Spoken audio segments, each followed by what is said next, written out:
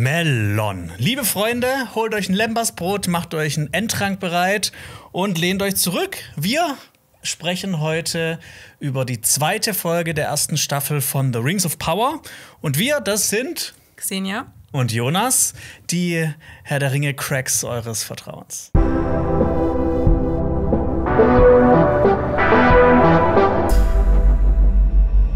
In den Folgenbesprechungen werden wir mit euch Szene für Szene durchgehen. Außerdem besprechen wir die zugrunde liegende Lore, Kameraarbeit, Sounddesign, alles technische, Figurenkonstellation, Dramaturgie, alles Mögliche. Und am Ende dieser Folgenbesprechung erfahrt ihr dann, wie wir diese Folge im Großen und Ganzen fanden.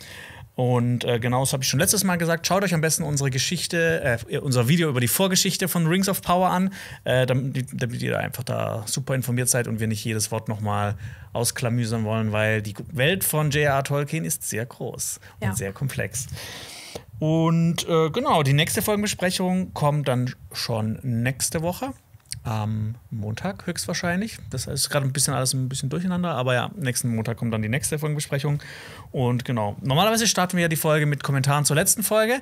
Es ist jetzt schon eine online, aber da wir diese Folge gerade drehen, bevor die andere schon online ist, können wir leider nicht auf die Kommentare eingehen. Aber ich hätte eine Sache, Xenia, die ich gerne mit dir besprechen wollen würde. Schieß los. Und zwar haben wir uns ja auch gefragt, wie, wie diese Serie ankommen wird. Ja. Und jetzt äh, übers Wochenende ist ja sehr, sehr, sehr, sehr viel passiert.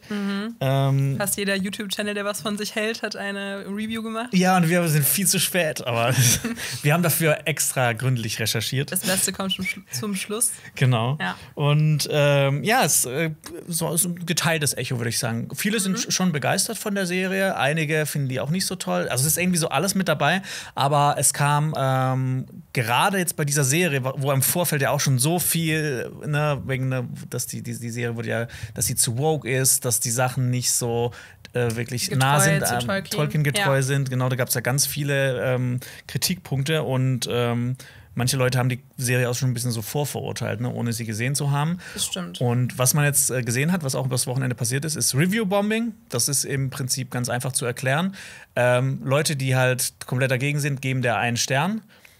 Und äh, was natürlich zu einer insgesamt schlechteren Bewertung äh, führt. Aber natürlich gibt es dann auch eine Gegenbewegung, die gibt dann der Serie 10. Mhm. Auch halt auch, um, um diesen Effekt so ein bisschen äh, quasi abzufedern, dass die Ja. Serie nicht dann plötzlich nur zwei Punkte auf IMDb Mhm. hat oder sowas. Ist natürlich dann auch schade, weil dann ge- geht es ja total davon weg, wie die Serie wirklich rezipiert wird. Ja, genau. Das Ja. war nämlich auch, ähm, das ist auch der Fall bei IMDb, gibt es ja so eine Top 250. Mhm. Und auf dem ersten Platz ist The Shawshank Redemption, äh, die Verurteilten. Ja. Und das ist nur auf dem ersten Platz, weil es mal so ein, wie so ein Review-War gab zwischen The Dark Knight und der Pate. Ah, krass. Weil die Okay. Leute, Fans von Dark Knight, wollten, dass der weiter oben ist und haben dann der Pate schlechter bewertet. Und der Pate ist dann vom ersten Platz abgerutscht. Ach, krass. Also, das heißt, nach dem Motto, wenn zwei sich streiten, freut sich Shawshank Redemption. Genau, wenn, Okay. wenn, wenn Rings of Power sich streitet, freut sich House of the Dragon. Es wäre so Oder so. lustig, wenn dann jetzt so She-Hulk oder so besser Ja, bewertet wird als äh, House of Dragon. Ja, aber bei She-Hulk ist, ist er von den Reviews her ähnlich das stimmt. durchwachsen. Ja. Ja, ähm, genau bei, bei Rotten Tomatoes hat die Serie 84 Prozent, aber das sind ja quasi auch dann nur so Kritiker und Kritik, äh, Kritikerinnen und da wird das ja auch immer so, das ist ja auch keine wirkliche genaue äh, Zahl. Ähm, sie hat 71 ähm, auf Metacritic von 100 und im User-Rating, also dann nur die Leute, die dann quasi, die da nicht offiziell was machen, 2,4. Das ist Boah, der. Unterschied. Okay. Und bei IM IMDb, wenn man sich mal die Statistiken anschaut, da sind ganz viele Bewertungen, wie gesagt, auf 1 und ganz viele auf 10. Und ähm, ich habe auch auf Reddit mich so ein bisschen äh, umgeguckt, was, wie, wie die Serie so ankam. Und ähm, ich habe gelesen, ne, das ist jetzt, das ist, ich habe es nur gelesen, das haben aber ein paar Leute dann halt auch so bestätigt, aber ich habe jetzt keine Beweise dafür, dass äh, IMDb teilweise äh, Reviews gelöscht hat. Klar, es gibt dann welche, ne? Die das dann bashen, ja, einfach oder nur. die ja. bashen oder, oder die, Ja. sind dann irgendwelche Bots oder sowas. Das ist klar, dass das gelöscht wird, aber da waren auch Leute in den Kommentaren, die gesagt haben, die haben eine, eine ganz ausgeglichene Review gemacht und die wird halt auch gelöscht. Und da ist halt ne, so das Problem, dass IMDb halt zu Amazon gehört Ja, und Rings of okay. Power ist auch von Amazon. Also es ist dann Ja. schon, also es ist jetzt keine Verschwörung oder so, aber Ja. ich glaube, ich weiß nicht, da könnte man schon äh, kritisch nachhorchen mal, ob das dann vielleicht so geleitet ist. Ich meine, ich verstehe das auch, Ja. dass Amazon nicht will, dass dann äh, der Tenor sagt, die Serie ist nicht äh, ja, guckbar. Die haben eine. Milliarde dafür ausgegeben. Ja, Deshalb. das stimmt. Aber ich muss auch sagen, das gibt ja auch der Serie einen bitteren Beigeschmack, dass es eben von so einem Studio produziert wird. Dann fragt man sich, okay, will man nur Geld machen oder Mhm. Ja. möchte man halt was Gutes produzieren? Ne? Oder wenn man dann so eine Foto sieht von der Premiere von London, wo im Bildmittelpunkt Jeff Bezos ist und Ja. nicht irgendwie Morphet Clark ganz, oder ganz sowas. hinten so vor so einer Wand steht so, ja, Moffat Clark. Ja, und Ja. Äh, was natürlich auch, äh, wo wozu auch gekommen ist, dass Amazon auch bei sich auf der Seite bei Prime Video Mhm. die Bewertungen so ein bisschen ähm, durchforstet. Und ich glaube, Okay. inzwischen ist es so, dass man, dass man erst nach, äh, nach drei Tagen oder sowas eine Review schreiben kann. So irgendwie was. Oh Gott, okay.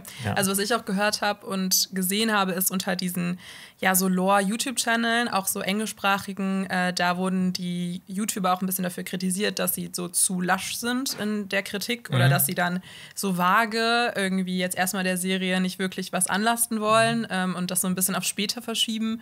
Und da wurden, also da wurden auch viele Vorwürfe, glaube ich, so laut, so nach dem Motto, ja, äh, du wirst von Amazon bezahlt. Mhm. Ja. Ähm, ja finde ich auch krass, aber Ja, wir werden nicht von Amazon bezahlt, Nee. wir werden von Funk bezahlt. Deshalb, Genau. da Und die haben uns nichts gesagt. Wir, können, Ja. also, wir sind ehrlich. Ja. Ähm, gut, dann würde ich mal zum Titel der Folge Hm? übergehen. Ähm, der Titel der Folge ist Treibgut, beziehungsweise im ähm, Englischen Adrift. Und da muss ich ganz ehrlich sagen, ich fand den, Teu äh, den deutschen, den deutschen Titel fand ich besser, Mhm. ähm, weil Treibgut hat mich an was erinnert. So heißt nämlich auch ähm, ein Kapitel Mhm. im zweiten Herr der Ringe Buch. Es heißt Treibgut und Beute, aber im Englischen heißt das nicht dann Adrift und bla bla bla. Ja, da haben dann die Übersetzer äh, und Übersetzerinnen wahrscheinlich dann gedacht, wir wollen den Trend weiterverfolgen, Ja. aber die Englischen wollten das anscheinend nicht. Ja, genau. Regie hat hier wieder J.A. Bayona geführt, über den haben wir letztes Mal schon gesprochen. Und das Drehbuch hat Jennifer Hutchinson beigesteuert. Jennifer übrigens mit G. Wow. Jennifer, oder heißt die Jennifer Hutchinson? Die war ähm, unter anderem Story Editor in der letzten Staffel von Breaking Bad. Äh, Hm, okay, das in ist der positiv. Ozymandias-Folge zum Beispiel. Ach cool, okay, Mhm. alles klar. Und Produktionsassistenz bei Serien wie zum Beispiel Mad Men, Grey's Anatomy und Akte X. Also so große Drehbucherfahrung hat sie jetzt auch noch nicht gesammelt. Ähm, aber ja, wie, wie wir dann die Folge fanden, werdet ihr am Schluss erfahren. Ja, Aber wir steigen mal ein. Mhm. Und zwar will ich jetzt auch noch mal einen kurzen Disclaimer. Ne? Ich bin mega Herr der Ringe-Fan. Ich kenne mich sehr gut aus dem Silmarillion. Und das ist so aus meiner Sicht bewertet. Ne? Ich versuche immer so ein bisschen abzuschalten dann und vielleicht auch so manchmal so ein bisschen, ne? man muss ja nicht immer so getreu sein, wenn es um Tolkien geht. Das ist ja. Mhm. Ja. in Ordnung. Aber einfach nur, dass ihr wisst, das ist so, so meine Meinung zu dem Thema. Mhm. und ich bin auch Fan und ich passe mich dann da ein. Ich bin auf dem Spektrum vielleicht ein bisschen weniger krass, aber ähm, genau. Doch schon. Ja, ach krass. komm, ja, aber so, ne, manchmal verliert man sich dann, glaube ich, auch, wenn wir beide uns dann auch irgendwie ne, die Bücher gerade erst gelesen haben und so. Deswegen, ja, seid nicht zu kritisch von uns, wenn ihr Fans der Serie seid. Ja. Wir starten im Intro. Es gibt ein Intro. Mhm. Es gibt nicht nur diesen Schriftzug, sondern es gibt jetzt wirklich ein offizielles Intro. Genauso wie bei House of Dragon, jetzt in der zweiten Folge ähm, droppt man das erst. Ne? Ja. Ja. Vielleicht ist das so ein Ding für die Zukunft, für, für die ganzen Serien. Ja, wie, wie, wie fandest du es? Ähm, ich fand's. Boah, ich, ich, ähm, ich fand's. ähm, ich, ich war ein bisschen underwhelmed, sage ich jetzt Mhm. mal. Ähm, ich finde, es ist ganz schick gemacht. Ähm, aber ich könnte, ich hätte mir jetzt auch nicht vorstellen können, wie ein Intro zu einer Serie wie The Rings of Power aussieht. Ich finde, das ist echt schwierig und dafür haben sie das ganz gut gemacht. Ich habe nämlich auch noch so ein paar Infos da rausgezogen, äh, so, ähm, auch so, wie das zum Beispiel, auf was das anspielen könnte. Ja. Und ich mag sowas, ne? Also wenn sowas mit. Bedeutung vollgeladen ist. Ja, ich oder habe mir auch ein paar Notizen gemacht, so, Ja. wenn man dann da Symboliken erkennt oder Ja. so. Ich würde es einfach mal, das, ich habe ich hab das so nach Form so ein bisschen sortiert. Aber im Prinzip sieht man ja, dass ähm, so kleine Partikel ähm, verschiedene ähm, Dinge formen. Und ähm, für mich hat das am Anfang so ein bisschen gewirkt wie früher im Physikunterricht, wenn man mit so Eisen, äh, Eisenpulver so Magnetfeldlinien oder sowas macht. Ja, wenn man dann den Magnet oder sowas irgendwie so hin und her schiebt. Ja, oder auch generell, ich finde, das sah aus wie so Sand. Äh, fand ich jetzt eigentlich Ja. auch gar nicht, also von der so Ästhetik ganz gut gewählt. Genau. Die erste Form sind neun Ringe. Mhm. Äh, also so neun, Ringe angeordnet. Und da habe ich mir natürlich gedacht, vielleicht sind das die neun Ringe der Menschen, die neun Ringe der Macht. kann ich mir auch gut vorstellen. Weil es gibt ja eigentlich noch mehr Ringe, so sieben den Zwergen, drei den Elben und eine Mhm. für Sauron. Das sind ja nicht, das sind ja mehr als neun, ähm, wenn ich das richtig zusammengerechnet habe. Ja, du hast es richtig zusammengerechnet. Ja. Und ich dachte da auch dann, okay, wir sehen neun Ringe. Und dann dachte ich so, okay, jetzt sehen wir wahrscheinlich irgendwie die Repräsentation von jeder Rasse bei Tolkien dann äh, wahrscheinlich. Aber so ist es nicht weitergegangen. Ja. Oder? Nee, nee, nee, nee, ich war da ein bisschen überrascht. Ja, ja, genau. Ähm, genau, aber neun Ringe der Macht, ne, aus diesen Menschen, die diese Ringe hatten, werden ja auch später mal die Nazgul werden. Ob wir die in der Serie sehen werden, bin ich auch gespannt. Aber, Ja, es, ähm, aber ich- eigentlich ergibt's, also eigentlich, eigentlich spielt das alles in eher im dritten Zeitalter. Aber ich meine, ist ja schon viel verändert worden. Ich, ich bin jetzt auch äh, Ja, gar nicht also- mehr so. Ich habe auch das Gefühl, man kann gar keine äh, Vorhersagen mehr machen, weil theoretisch, also ich fände es sogar ganz cool, wenn man das sieht, so den Verfall der Menschen, ähm, Ja. genau, wegen den Ringen, aber Ja, und zu den äh, Ringen der Macht äh, insgesamt haben wir auch schon mal ein äh, super cooles Special gemacht. Da gerne auch mal reinschauen. Die zweite Form ähm, sind zwei Bäume. Und ich habe mir da gedacht, also ne, einerseits kann das natürlich für die zwei Bäume, Genau. Telperion und Laurelin, in Valinor sehen. genau, die äh, man auch stehen. mal gesehen hat, die Ja. dann zerstört werden. Ähm, oder was natürlich auch sein kann, was natürlich auch so ein bisschen, wo, woher diese beiden, äh, oder wo diese beiden Bäume quasi dann so auch so ein bisschen hingehen, sage ich mal. Numenor, weil in Numenor steht auch ein Baum, der wird Nimloth genannt. Und ähm, das war der Setzling eines Setzlings, eines Abbildes von einem dieser zwei Bäume. genau. Also ich hätte euch jetzt die ganzen Namen sein, äh, sagen können, aber im Prinzip ist der Baum in, äh, in Numenor mit äh, dem anderen Ja. Baum quasi im Geiste verwandt. Und Fun Fact an alle Peter Jackson Filmfans, das ist ja auch das Symbol, was wir auf der ähm, Rüstung von Aragorn sehen. Ja, genau. Und auch so das, das, ähm, äh, das Wappen. Genau, das Wappen Von von Gondor. Gondor. Ja, genau. Und dann wird es, dann, dann, dann wird's ganz wild, Genau. dieses Intro. Ähm, ich Ich, ich habe mir hab aufgeschrieben Fidget Spinner. Fidget Spinner, ich habe ich hab, ähm, beim dritten habe ich keine Ahnung mehr gehabt. Beim vierten, das sah für mich aus ein bisschen wie ein Steuerrad vielleicht. Okay. Was dann natürlich auf Numenor anspielt, weil das ist Ja. Mhm. ja ein Seefahrervolk. Und dafür braucht man ja ähm, ein Steuerrad.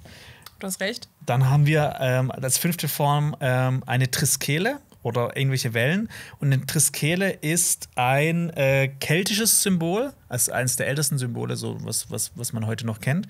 Ähm, und ich finde, witzigerweise sieht es so ein bisschen aus wie bei House of the Dragon. Das, äh, dieses Wappen im Intro von Rhaenyra. Das hat so eine ähnliche Form. Ah, das ist, okay. glaube ich, nicht wirklich eine Triskele, sieht ein bisschen anders aus, aber es erinnert sehr stark daran. Okay. Und ähm, falls es eine Triskele ist, ähm, das hat verschiedene Bedeutungen natürlich, das ist auch ne, der tausende Menschheitsgeschichte, ähm, aber so im Allgemeinen soll das für Fortschritt und Stärke stehen, Ah. kann aber auch ähm, Triskele, ne? Tri, drei, Mhm. äh, Vergangenheit, Gegenwart, Zukunft, Geburt, Leben, Tod, Mat Vater, Mutter, Kind. Uh, okay, Ja. sehr symbolisch, aber ich finde dann ähm, Fortschritt würde ja zum Beispiel zu Celebrimbor passen und auch Oder zu Numenor auch, so Stimmt. Fortschritt und äh, Stärke und sowas. Eben, ja. Und da auch vielleicht dann Fortschritt, der einen zum Verhängnis wird. Da werden wir auch später vielleicht in der Folge nochmal drüber reden. Mhm. Ähm, finde ich eine ganz coole Interpretation. Ich finde, danach wirkt es ein bisschen wie so, erst sah es ein bisschen aus wie ein Elbenschwert, fand ich. Danach, ich habe mir aufgeschrieben, Kuddelmuddel, ich erkenne da nicht mehr viel. Ah, okay. Aber ein Elbenschwert wäre natürlich, Ja. ne, würde dann auch passen. Genau, es ist ein bisschen wie so Wolkenlesen jetzt. äh, Oder dann auch so Grenzen, die ähm, sich aufmachen. Vielleicht so ein bisschen, dass äh, dann so eine Grenze gezogen wird zwischen ne, den äh, Numinorern wahrscheinlich ähm, oder auch Beleriand, was wir aber ja auch nicht gesehen haben, was abbricht ähm, und untergeht. Ja, und dann habe ich irgendwie auch noch so einen Berg. Ich habe so ein bisschen so einen Berg erkannt. Da dachte ich dann auch irgendwie, vielleicht könnte das der Berg in Numenor sein, der Meneltama. Das würde vielleicht auch ein bisschen Sinn machen. Der Heilige Berg. Genau, der Heilige Berg, den werden wir vielleicht auch noch sehen. Auf Äh, jeden Fall. Ja, hoffentlich. ähm, und dann kommt ja dann schwarzer Sand, der den weißen Sand Ja. durchstößt. Und das ist ja auch sehr. Das ist nicht sehr subtil. Nee, das ist nicht sehr subtil. Das, ist, das sind die Bösen. Mhm, genau. Ich habe aber auch schon ähm, sau interessante Theorien zu diesem ganzen Intro gelesen. Mhm. Und zwar, ähm, dass es sich bei diesem Intro um eine visuelle Repräsentation der Ainulin Ainulindale äh, handelt. Und die Ainulindale ist quasi die Geschichte über die Schöpfung von dieser ganzen Welt. Weil, wenn ihr unser Video geschaut habt, ne, über das, äh, die Vorgeschichte, ähm, diese Welt wurde ja mit Musik erschaffen. Und es gibt so Soundexperimente, das kann man sich auch mal auf YouTube reinziehen, ähm, mit äh, Resonanz und das sieht dann ähnlich aus. Also wenn, wenn du dann, äh, das, das macht auch so Formen mit, mit, so, Ah, okay. äh, mit, mit so Stoffen, wenn du irgendwie so Musik, Cool. so Frequenzen reinmachst. Und das sieht auch wirklich, das ändert sich auch so, äh, so rapide, Mhm. so wie im Intro.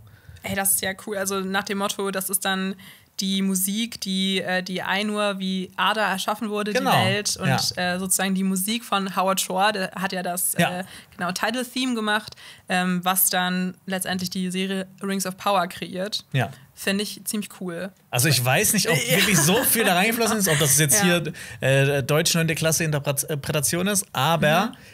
Es wäre schon ziemlich cool. Ja, es, also das fand ich auch ziemlich cool. Wer weiß, vielleicht gibt es da ja noch ein Interview oder so von den Showrunnern zu. Am Ende sieht man ja auch noch den einen Ring in der Mitte Mhm. und dann wird dann auch noch die Title Card nochmal von dem Titel eingeblendet, diesmal in Gold.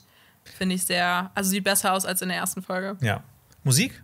Fandst du gut? Fand ich gut. Ich muss sagen, also Howard Shore, das ist ja das Einzige, was er für die Serie komponiert hat.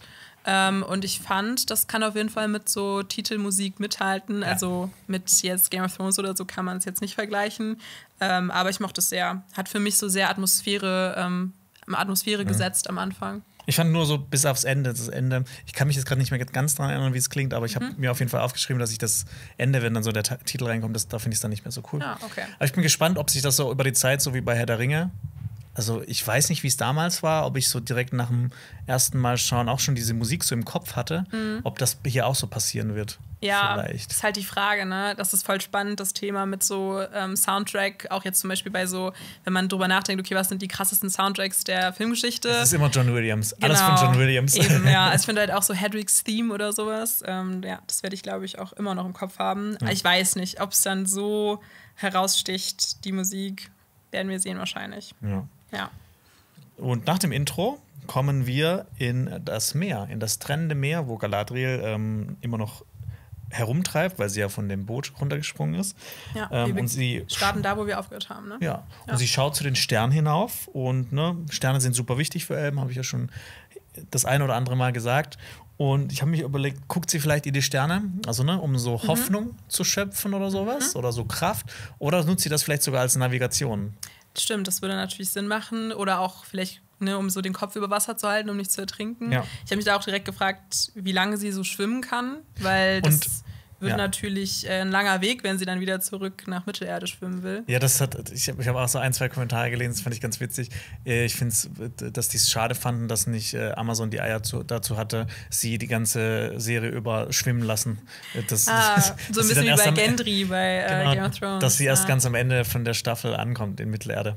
Ich glaube, das würde mir auch gar nicht so viel nehmen, weil ich finde auch ihren Charakter, da wollte ich auch gleich noch mal was ein bisschen zu sagen, finde ich Mhm. auch am uninteressantesten bisher, obwohl er sie ja so die Hauptfigur, eine der Hauptfiguren ist, aber ich Ja. finde, sie ist ein bisschen unsympathisch. Aber naja, Ja. vielleicht können wir da gleich noch mal drüber reden. Ja, können wir gerne machen. Mhm. Und ähm, ich habe mich gefragt, ähm, glaubst du, dass ob Elben unterkühlen können? Weil die ist ja wirklich sehr lange in diesem Meer drin. Das habe ich mich auch gefragt, weil ich glaube, das ist dann auch so eine Sache jetzt bei Elben, weil die einfach auch krasser sind als Menschen, dass wir Ja. das gar nicht so anwenden können, all unser Wissen. Ja. Ähm, und sie, über sie wird ja auch gesagt, sie ist eine der größten und stärksten Elben überhaupt gewesen. Das heißt, würde schon Sinn machen, dass sie davon nicht so viel mitträgt. Ja.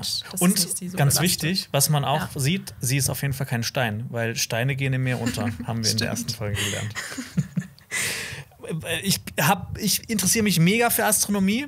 Aber ich kann dir überhaupt nicht, äh, ne, ich, mit, Mhm. mit so Sternenhimmel, ich weiß noch, was der große Wagen ist. Falls ihr da draußen irgendwie Astronomie-Nerds seid oder sowas und irgendwas aus diesem Sternenhimmel rausziehen könnt, dann schreibt es gerne mal in die Kommentare. Das würde mich mal mega interessieren, ob äh, das vielleicht mit Sternbildern von Mhm. unserer Welt, also ne, ich meine, Mittelerde ist ja quasi wie so eine Vorgeschichte für unsere Welt. Stimmt, Deshalb ja. müsste ja der Sternenhimmel auch ähnlich sein. Aber könntest du das? Könntest du dir das vorstellen, dass du so dann vielleicht sogar so ein bisschen der Polarstern, das weiß man ja so ein bisschen, Mhm. ist Orientierung zu, zu, für den Norden, oder? Nicht, ne, Nee, gar nicht. okay, hoffen wir Das mal, dass ist- du nie ins Wasser fällst. Das ist die Light Pollution, da, da sieht man dann eh Ah, nichts. Ne? stimmt, ja. Deshalb konnte ich meine, mein Auge nicht schulen. Alles klar. Ja, ähm, ich würde da schon zur nächsten Szene übergehen.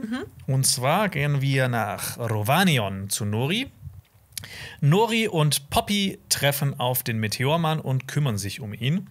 Und ich habe noch eine Sache vergessen in der letzten Folge zu sagen und ähm, da würde ich gerne mal gesagt haben, dass ich Poppy sehr mag eigentlich. Ja? Ich finde die so als Figur, ich finde die irgendwie sympathisch, die gefällt mir irgendwie. Ja, doch, sie ist so ein bisschen cooler Gegenpart zu Nori, Mhm. die ja mehr so dieses Protagonisten-Ding hat. Sie will irgendwie was erleben und Poppy will halt einfach, hat keinen Bock. Das finde ich Ja. auch manchmal sehr sympathisch. Poppy ist so ein bisschen wie, wie ein äh, Grumpy Samwise Gamgee so ein bisschen. Ja, sehe ich, sehe ich. Ja. Ähm, es gibt auch eine wichtige Info, die jetzt schon gedroppt wird, was natürlich auch wieder so Theorien über Theorien äh, äh, hervorbringt. Und zwar ähm, stolpert ja Nori in diesen Krater rein und sie sagt, dass das Feuer des Meteors nicht brennt. Und ne, wir sind jetzt Ja. wieder beim Omen-Counter, wie letztes Mal. Das stimmt. Ist ja. das jetzt ein gutes Omen oder ist das ein schlechtes Omen? Also ich würde ja sagen, es ist wahrscheinlich ein schlechtes Um, weil wir erinnern uns, in der ersten Folge war ja Galadriel mit ihren Elbenfriends da oben im Norden unterwegs und in der ehemaligen Festung Morgoth. Und da war ja die Fackeln äh, auch nicht, waren die Fackeln auch nicht warm, weil ähm, genau sozusagen das Böse da so gewaltet hat, dass ähm, das Feuer nicht mehr warm ist. Und deswegen würde ich sagen, das deutet darauf hin, dass der Meteormann auch nicht gut ist, sondern eher böse. Ich weiß nicht, was du sagen würdest.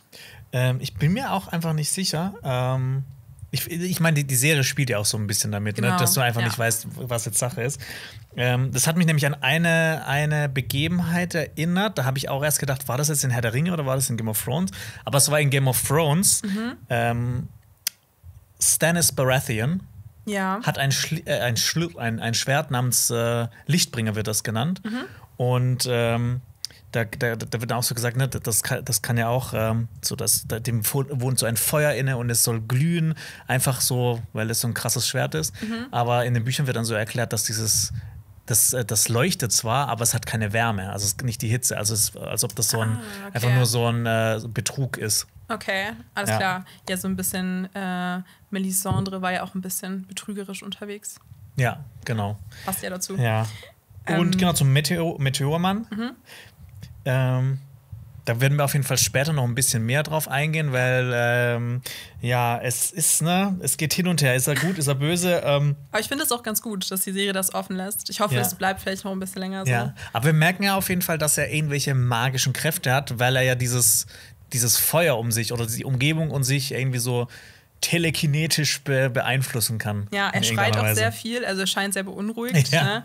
Und dann biegen sich die Bäume und dann, ich fand das sehr cool, weil er saugt ja dann so das Feuer ein und lässt es dann wieder los. Ähm, das fand ich auch sehr cool. Er scheint, glaube ich, auch ein bisschen erschöpft zu sein davon, Mhm. einfach, dass er auf die Erde gekracht ist. Ich meine, das war ja im Prinzip auch so ein bisschen so wie eine Geburt. Und ich meine, Kinder schreien ja auch bei einer Geburt. Stimmt. Ja. Ja. Ich, ich weiß es nicht. ich habe noch kein Kind. Ich aber auch ja. nicht. Ah, ja okay. ähm, genau, aber Nori möchte ihm ja auch helfen da. Dann gibt es Mhm. ja so einen ganz coolen Dialog und Poppy sagt ihr dann halt so, ja, du musst nicht jeden, du musst nicht jeden retten, aber Nori fühlt sich irgendwie für ihn verantwortlich. Es gibt auf jeden Fall auch so eine Einstellung, die wird später nochmal wiederholt, wie sich äh, so, so ganz nahe Einstellung von dem Meteormann mit den Augen und von Nori. Äh, und das kommt später nochmal in der Folge vor. Ich habe das Gefühl, das könnte vielleicht auch äh, jetzt noch wichtig werden, vielleicht für die Zukunft einfach, ne? so dieses äh, gegenseitige Erkennen. Ähm, und ich habe auch das Gefühl, dass er seine Kräfte noch nicht so richtig kontrollieren kann. Das, Ja. vielleicht, vielleicht ist er ein Zauberer, vielleicht, vielleicht kann er seine Kräfte noch nicht so kontrollieren, weil er irgendwie so frisch in die Welt reingekommen ist, keine Ahnung. Ja, genau. Und dann sehen wir ja auch äh, dann wieder die Haarfüße Mhm. ähm, und Sadok Burrows sagt, dass ein Stern gefallen sei. Ein Fallstern. Ja, Also genau. zumindest, wir haben das mit diesen Screenern angeschaut, da war, das war in Englisch mit einem deutschen Untertitel. Ich habe das jetzt nicht nochmal bei dem hier extra nachgeschaut, aber Ja. da stand im Untertitel auf jeden Fall Fallstern. Ah, okay. Ich habe es aber auch nochmal auf Prime geguckt und Mhm. ich glaube, da sagt er einfach nur ein Stern sei gefallen, aber ich bin mir jetzt auch nicht genau sicher. Ja. Ähm, und ich finde, dann sagt ja diese eine, ich nenne sie die Schicksalsschwestern, weil sie mich irgendwie an so die Schicksalsschwestern aus der griechischen Mythologie erinnern. Äh, ja, wie viele Zeichen brauchst du noch? Und das habe ich mich auch gefragt, wie viele Zeichen brauchen wir noch wegen Mhm. Ja. unserem Zeichencounter. Ähm, ja, Ja, ich denke mal, das gilt wohl eher als schlechtes Zeichen bei, bei denen. Ähm, denn äh, sie wollen ja weiter und dieses Fest dann ausfallen lassen, dieses große Fest. das Erntedankfest. Ja, vielleicht sind das diese, diese, diese Jultage. Das ist bei denen ja quasi wie so ein der wichtigste Feiertag für die Hobbits und wie so ein Silvester. Ja, Ja. genau, wirkt auch ein bisschen so. Die äh, bereiten ja auch alles vor, irgendwie in den, diesen Szenen für dieses Fest. Ne? Ja. Und ähm, sie transportieren den Meteormann ab und sie sagen ja, dass er ganz schön blutet. Mhm. Was auch wieder ein sehr interessanter Hinweis ist, weil. Ähm, also, sie, sie, sie, reden ja auch darüber, dass das ja auch kein Mensch sein kann, kein Hobbit, was weiß ich alles, weil der einfach nicht zerquetscht worden ist. Und kein Elb, weil er nicht so schön ist und nicht die Ohren dazu hat. Und ich habe mir überlegt, ob wir das vielleicht nachher bereden, ja. Ja, ja, lass, lass es nachher reden, ja.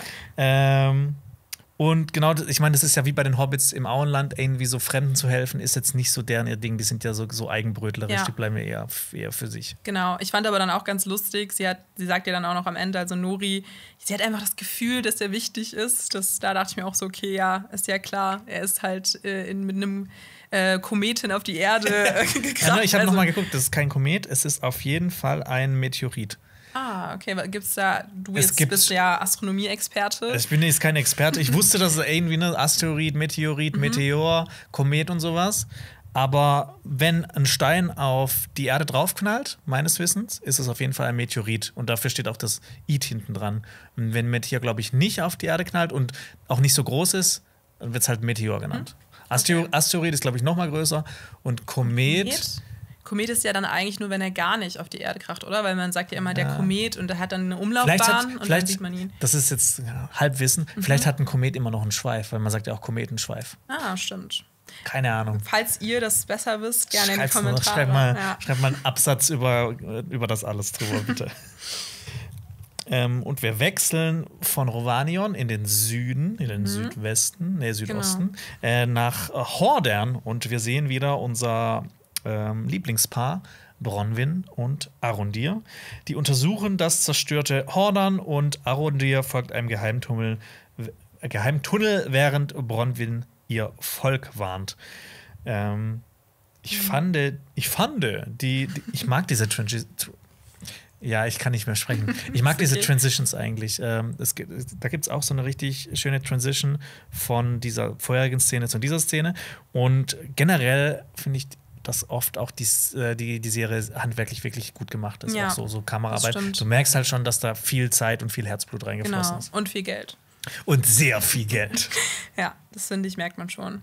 Auf jeden Fall. Ja, die Erde ist mit Rissen durchzogen. Es gibt keine Leichen. Das ist ja auch eine sehr wichtige Info, die gesagt wird.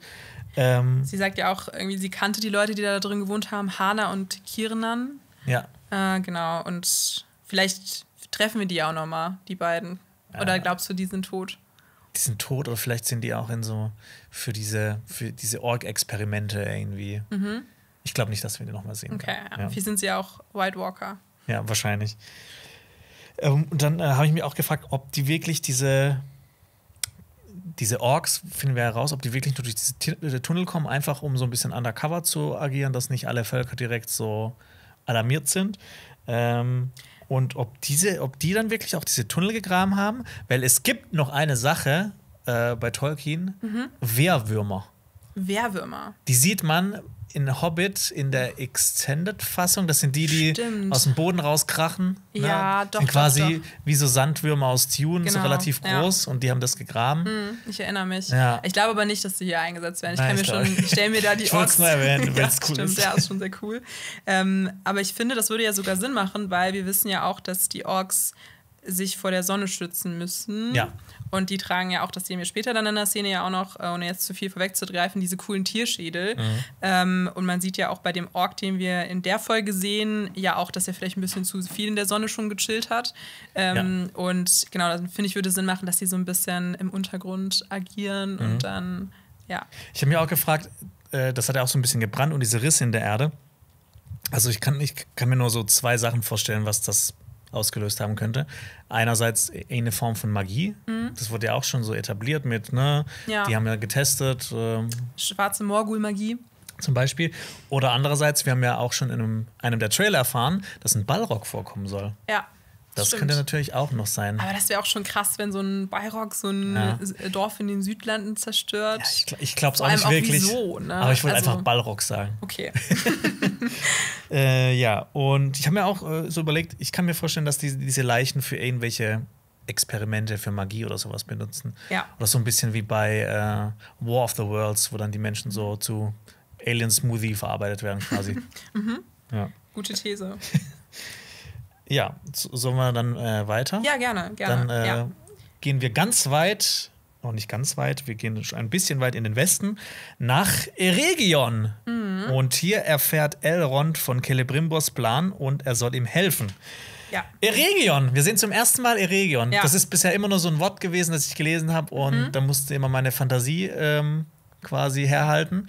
Es ist wahrscheinlich die Stadt Ost in Edil. Ne? Ja, Festung der Elder. Mhm. Also quasi im Prinzip Festung der Elben. Genau. Da ist mir auch aufgefallen, es gibt so viele Eröffnungsszenen. Also es Ja. gibt so viele Shots von Städten, äh, das ist echt krass. Ähm, wirklich in jeder Folge mindestens fünf bisher. Aber ich finde die immer gut. Ich finde die auch gut, aber ich habe äh, das jetzt nochmal mit meinem Freund geguckt, der das auch das erste Mal gesehen hat und der hat irgendwie, ihm ist was aufgefallen, was ich ganz spannend fand. Er hat gesagt, dass da nie, du siehst nie Personen oder Leute, was er ja auch Mhm. so, immer. in der Straße quasi. Genau, in der Straße, die irgendwie umhergehen oder so. Und ich finde, das macht das Ganze noch ein bisschen lebendiger. Und ich finde, deswegen Mhm. sehen diese Eröffnungsszenen vielleicht für mich persönlich auch ein bisschen ja, so künstlich aus. Also Ja. natürlich ist das mega gemacht, das sieht Ja. richtig krass aus. Ich finde auch, ähm, dass, ne, wie du letzte Folge gesagt hast, die Shots ficken Mütter. Aber ähm, manchmal denke ich mir so, mh, das irgendwie kaufe ich denen nicht ab, dass das wirklich eine reale Stadt ist, wo Menschen drin wohnen oder Elben. Du meinst, du hättest gern diesen Establishing-Shot gehabt, aber dann vielleicht noch so zwei, drei so Ja. in den Straßen, so Genau. ein bisschen nähere Shots. Eben. Das haben die ja zum Beispiel auch bei der Hobbit gemacht, wo die uns Ja. zum Beispiel mit Erebor ähm, Ja. vorgestellt haben. Und das finde ich auch klappt im Casa-Doom-Shot später viel besser. Stimmt, ja, da sind Ja. auf jeden Fall zwei gesehen. Ja, genau, Ost in Edil hätte ich jetzt auch gesagt, am äh, Fluss Siranon. Und den Fluss sieht man übrigens auch. Ich mag das immer so, wenn man so Verbindungen zu den Filmen ziehen kann. Diesen Fluss sieht man vor dem Tor von Moria. Mhm. Das ist quasi dieser angestaute See, der wird dann mal irgendwann angestaut. Ähm, Cool. Ja. da, wo ja auch der, der Wächter drin sitzt. Ja, Ähm, wir erinnern uns. und äh, äh, Ostin Edi, diese Stadt, wo wir eigentlich im Trailer, in der Traileranalyse haben wir gedacht, dass das äh, Numenor ist. Ja, stimmt. Oder eine Stadt in Numenor. Aber Da hatte ich noch irgendwas von der Architektur erzählt, was jetzt so wirklich auch alle Thesen aus dem Trailer sind jetzt im Müll. Aber naja. aber wir haben super viel auch äh, richtig gehabt. Das stimmt, ja, ja. Äh, genau, ursprünglich wurde diese Stadt von Galadriel und ihrem Mann Celeborn gegründet, aber wir wissen ja, ähm, dass das alles ein bisschen Ja. nochmal abgeändert Galadriel wurde. ist Single. Galadriel ist anscheinend Single, genau. Ja, ja. Und ähm, es wirkt eher so, als ob Celebrimbor diese Stadt ähm, gegründet hätte Mhm. oder so. ja, er ist ja auch schon so alt besetzt, äh, der Schauspieler. Das würde Sinn machen, dass er vielleicht auch so eine Stadt gegründet hat in seiner Lebenszeit. Ja. Und in dieser Stadt haben ähm, Elben auch immer wieder Handel betrieben mit Zwergen aus Moria. Und ähm, Haben genau. ja auch eine Freundschaft begründet zwischen diesen beiden Ethnien, Ja. die äh, genau nirgendwo anders in Mittelerde zu finden war. und das ist ja auch, ähm, das wird ja auch später nochmal wichtig mit der Freundschaft zwischen Elrond und, Genau. und Durin. Ähm, und in dieser Stadt gab es übrigens eine Bruderschaft, die wurde Gwaith i Mirdain genannt. Und die wurde von Celebrimbor gegründet. Und das waren quasi so diese, diese krassen Schmiede. Ja, das finde ich auch alles ziemlich cool. Ja. Ich hoffe, das sehen wir auch noch in der Serie. Ja, auf jeden Fall. Ja. Ähm, und wir, wir gehen auch direkt rein in Celebrimbors Stube. Stube, Bastelstube. Und wir sehen Fëanors Hammer. What the fuck? Oh mein Gott, Lore! Das Ähm. ist das, ne? Das, was wir hier in der ersten Folge vermisst haben. Diese ein, zwei Infos, die sie gerne noch droppen hätte Ja, können. So ja. Fëanor, Silmaril, jetzt wissen wir, das hätten die auf jeden Fall irgendwie erwähnen dürfen. Das stimmt. Ja. Vielleicht wollten sie auch die Zuschauer und Zuschauerinnen nicht überfordern. Du meinst, dass das immer so ein bisschen so ein Stückchen. Ja, Ja. ich hoffe, aber ich freue mich über den Happen, den sie uns hinwerfen. Ja. Äh, genau, wenn er redet ja auch re relativ viel von äh, Feanor und den Silmarils. Äh, genau, das ist ja sein, sein Großvater. Und äh, ja, genau, er war ja der berühmteste Elbenschmied, den es je gab. Und ähm, hat die Silmarils, wo ja auch das Silmarillion nachbenannt ist, erschaffen. Mhm. Toller Moment. Die müssen ein, zwei Worte droppen und ich bin zufrieden. Ja, auf jeden Fall. Ich liebe auch irgendwie die, ähm, dieses Zitat von Celebrimbor, True Creation requires sacrifice. Also habe ich jetzt auf Englisch geguckt. Ja. Das fand ich dann so eine schöne Analogie auch zu den Ringen der Macht. Ja. Äh, genau. Und charakterisi charakterisiert ihn ja auch schön äh, als jemand, der auf jeden Fall Großes vorhat, sehr ehrgeizig ist und so. Ja, es gibt übrigens noch so eine Analogie. Und zwar sagt äh, Elrond, wie ein einziger Gegenstand so viel Schönheit hervorbringen kann und so viel Schmerz. Das hat mich nämlich an ein Zitat von Boromir erinnert, der sagt: Mhm.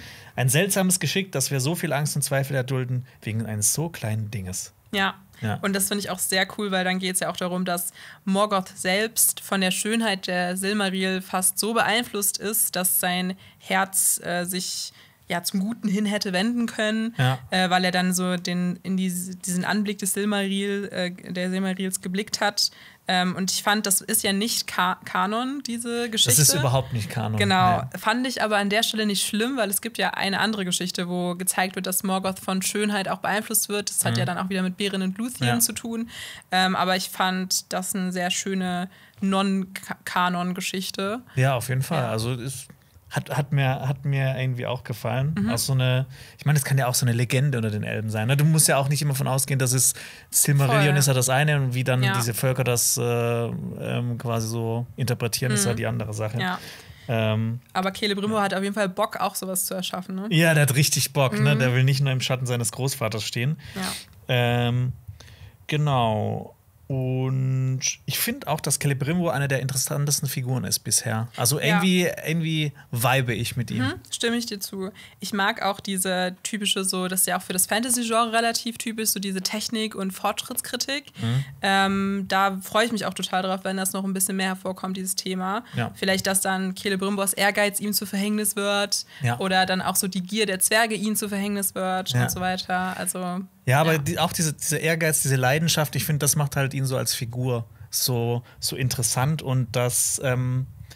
Es wird auch immer wieder beschrieben, dass in, in seinem Großvater so ein Feuer gebrannt hat Mhm. und dass durch dieses Feuer auch zum Beispiel seine Mutter gestorben ist, weil das, das war halt so krass, diesen Typen zu gebären, dass sie danach einfach gestorben ist oder halt nicht mehr, nicht mehr leben wollte, dass das Mhm. ihr alle ihre Lebensenergie genommen hat. Und ich finde, das, das, das bringt man schon ein bisschen rüber. Ja, diesen Funke, der ist auf Ja. Celebrimbo auf jeden Fall Ja. übergesprungen. Ähm, denn, Und, ähm, achso. ja, nee, sag gerne. Achso, ja. Und ich finde es schön, wie er sagt, dass äh, die Elben Krieg nach Mittelerde gebracht haben und er will jetzt Schönheit nach Mittelerde bringen. Das ist eigentlich Ja. auch ein voll schöner Gedanke. Ja, auf jeden Ja. Fall. Und da wird ja dann auch nochmal die Ambivalenz, die uns ja ein bisschen gefehlt hat in der ersten Folge, Mhm. dass die Elben so perfekt sind oder so, dass der Sippenmord da auch ganz ausgelassen wurde. Das spricht er hier ein bisschen an, dass Ja. auch die Elben nicht so friedfertig und perfekt sind, wie jetzt sie vielleicht die Serie dargestellt hat in der ersten. Episode. Ähm, aber er möchte ja, um diese Schönheit zu erschaffen, einen Turm bauen. Genau, er will einen Turm bauen. Er will einen großen Ofen bauen. Und was könnte er wohl darin schmieden Hm. wollen? Das ist die große Frage. Frag mich, wie die Serie heißt. Ja, er sagt nämlich auch, er will irgendwas mit, mit, ähm, mit wahrer Macht erschaffen. Und ähm, da habe ich mich auch gefragt, ne, das ist so die Silmaril. Die hatten ja irgendwie nicht so diese, diese, die hatten diese Macht der Schönheit, dass jeder die haben wollte, aber die hatten nicht so diese Macht wie der eine Ring, der einfach Ja. kontrollieren kann. Ja. Also ich, vielleicht hatten die ja auch noch so eine Zusatzmacht, aber Mhm. äh, im Prinzip waren die einfach unzerstörbar und mega schön. Das und stimmt, äh, ja. Morgoth wollte die haben und die waren dafür verantwortlich, dass diese ganzen Kriege gab. Aber vielleicht ist es ja auch ein bisschen dieses irgendwie die Schönheit, die auch nicht vergehen soll, weil die Elbenringe ja zumindest auch äh, das zu gefördert oder das gefördert haben, dass ja auch die Elbenreiche länger dauern und ewig Mhm. dauern. Und ich glaube, das könnte ja auch ein ähm, ja, Vorhaben von Celebrimbor sein. Vielleicht ja auch so diese Schönheit, die er jetzt auch in die Region sieht oder so, Mhm. dass die länger währt. Ähm, ja, kaufe ich ihm auf jeden Fall ab. Ich habe auch eine mega interessante Theorie ähm, gelesen. Also wir wissen ja auf jeden Fall, Celebrimbor ne, ist der Schmied der Ringe der Macht. Ja. Das ja, ist klar.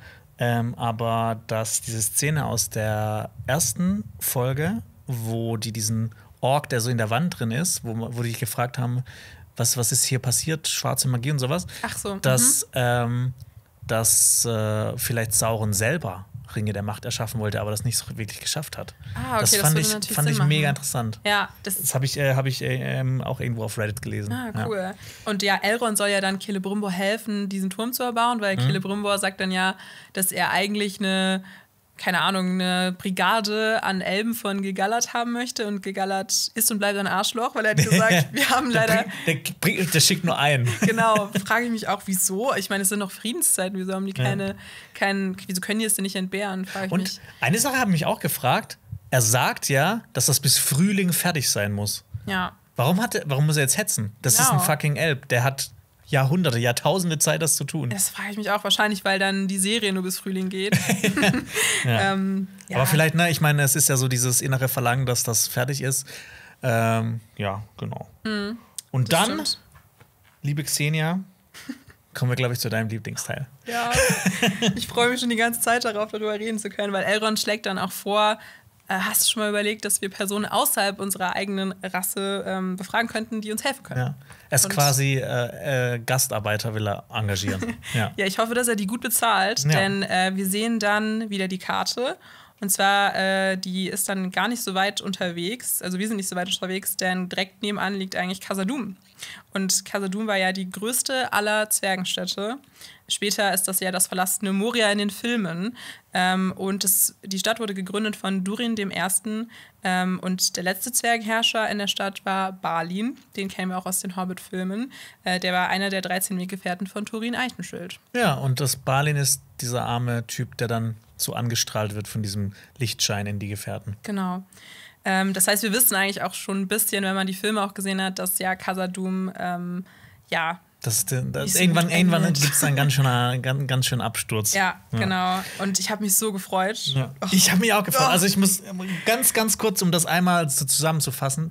Ich fand alles, alles, was jetzt gezeigt wurde von Moria, alles mit den Zwergen, fand ich wirklich großartig. Und dieser Zwergen-Soundtrack, der Soundtrack, der kam, Ja. Fand ich ebenfalls. Auch die, die Visuals, so wie, wie es außen aussieht. Das ist einfach schön, einfach schön. Mhm. Voll, ich ah, auch- da, da, da ging mein Herr der Ringe-Herz wieder richtig Ja, auf. meins auch. Ich habe auch den Soundtrack so geballert, als ich die, ähm, als ich das Skript geschrieben habe. Ähm, ja, und man sieht ja erstmal so eine Wasserfalleinstellung, so ganz viele kleine Wasserfälle, die so über Steine hüpfen. Und Elrond und Celebrimbor unterhalten sich dann darüber, dass ähm, eine Allianz mit den Zwergen die diplomatische Errungenschaft des Jahrtausends wäre. Ja, st- das stimmt auch so im Prinzip, wenn man weiß, zum Beispiel im ersten Zeitalter waren die Elben und äh, die Zwerge schon mal verbündet und haben teilweise auch zusammen gegen Morgoth gekämpft. Genau. Ähm, aber irgendwann gab es auch so eine Aktion, da haben dann äh, Elben Zwerge abgemurkst und Mhm. Genau. andersrum. Und ich meine, da ist ja dann wahrscheinlich noch relativ viel. Das waren jetzt auch nicht Zwerge aus Moria, das Ja. waren äh, Zwerge aus, aus zwei anderen Städten. Mhm. Aber viele von diesen Zwergen sind dann später auch nach Moria gekommen. Ja, das heißt, genau.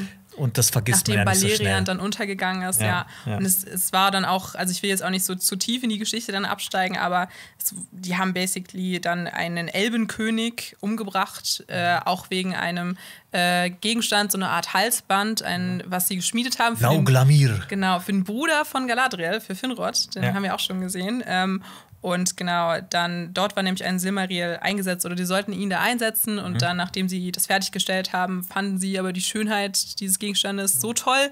Ein bisschen wie Äh, der Arkenstein in, in der Hobbit. Ja, ja, genau. Und dann wollten sie eben das Halsband behalten. Und ja, so einen Elbenkönig zu äh, ermorden ist natürlich keine gute Sache. Und einen Elbenkönig zu ermorden, der mit einer Maya zusammen ist. Das auch noch. ähm, aber auf jeden Fall kann man sagen, die beiden äh, Rassen teilen sich ja so eine Liebe zur Handwerkskunst.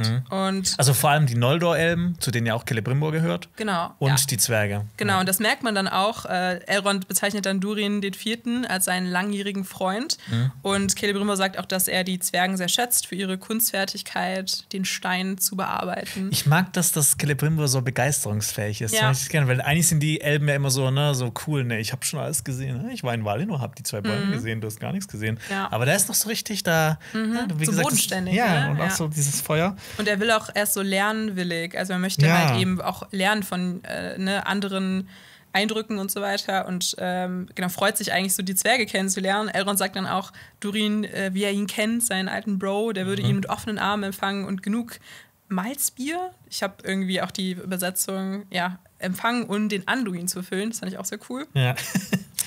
Und dann gibt es dann so einen Zwerg, der durch dieses Guckloch blickt. Ich habe übrigens versucht, diese Tür zu entziffern, diese Zwergenruhen. Ah, diese Kirt-Runen. Ja. Ja, und hast du da was herausgefunden? Also ich habe Buchstaben rausgefunden, aber so zusammen ergeben die gar keinen Sinn.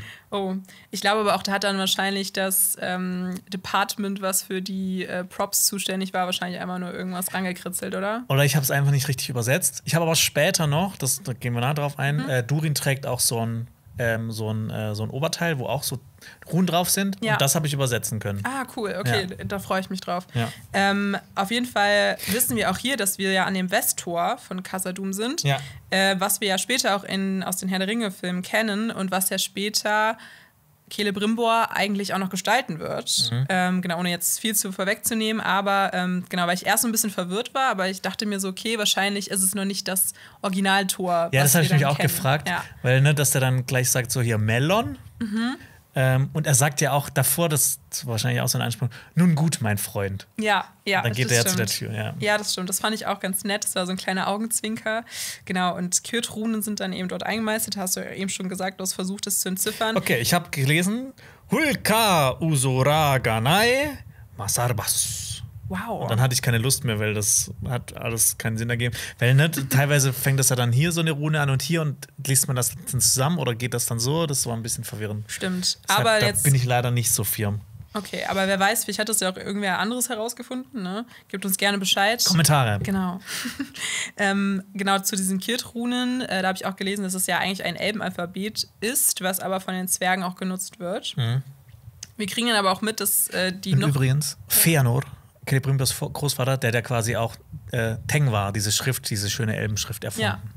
Ja, ah, okay. Hm. Guter Und äh, die. Palantir. Genau, ja. Palantiri auch. Palantiri. Hat denn alles gemacht. Ja, der ist halt schon krass. Deswegen, ich verstehe auch, dass Celebrimbor so ist, boah, ich muss jetzt auch mal was krasses Ja. machen. Ähm, naja, also auf jeden Fall kriegen wir mit, die werden doch nicht so freudig empfangen wie gedacht, weil äh, der Zwerg ihnen die Tür versperrt und auch sagt eben, dass das eine Anweisung von Durin dem Vierten ist.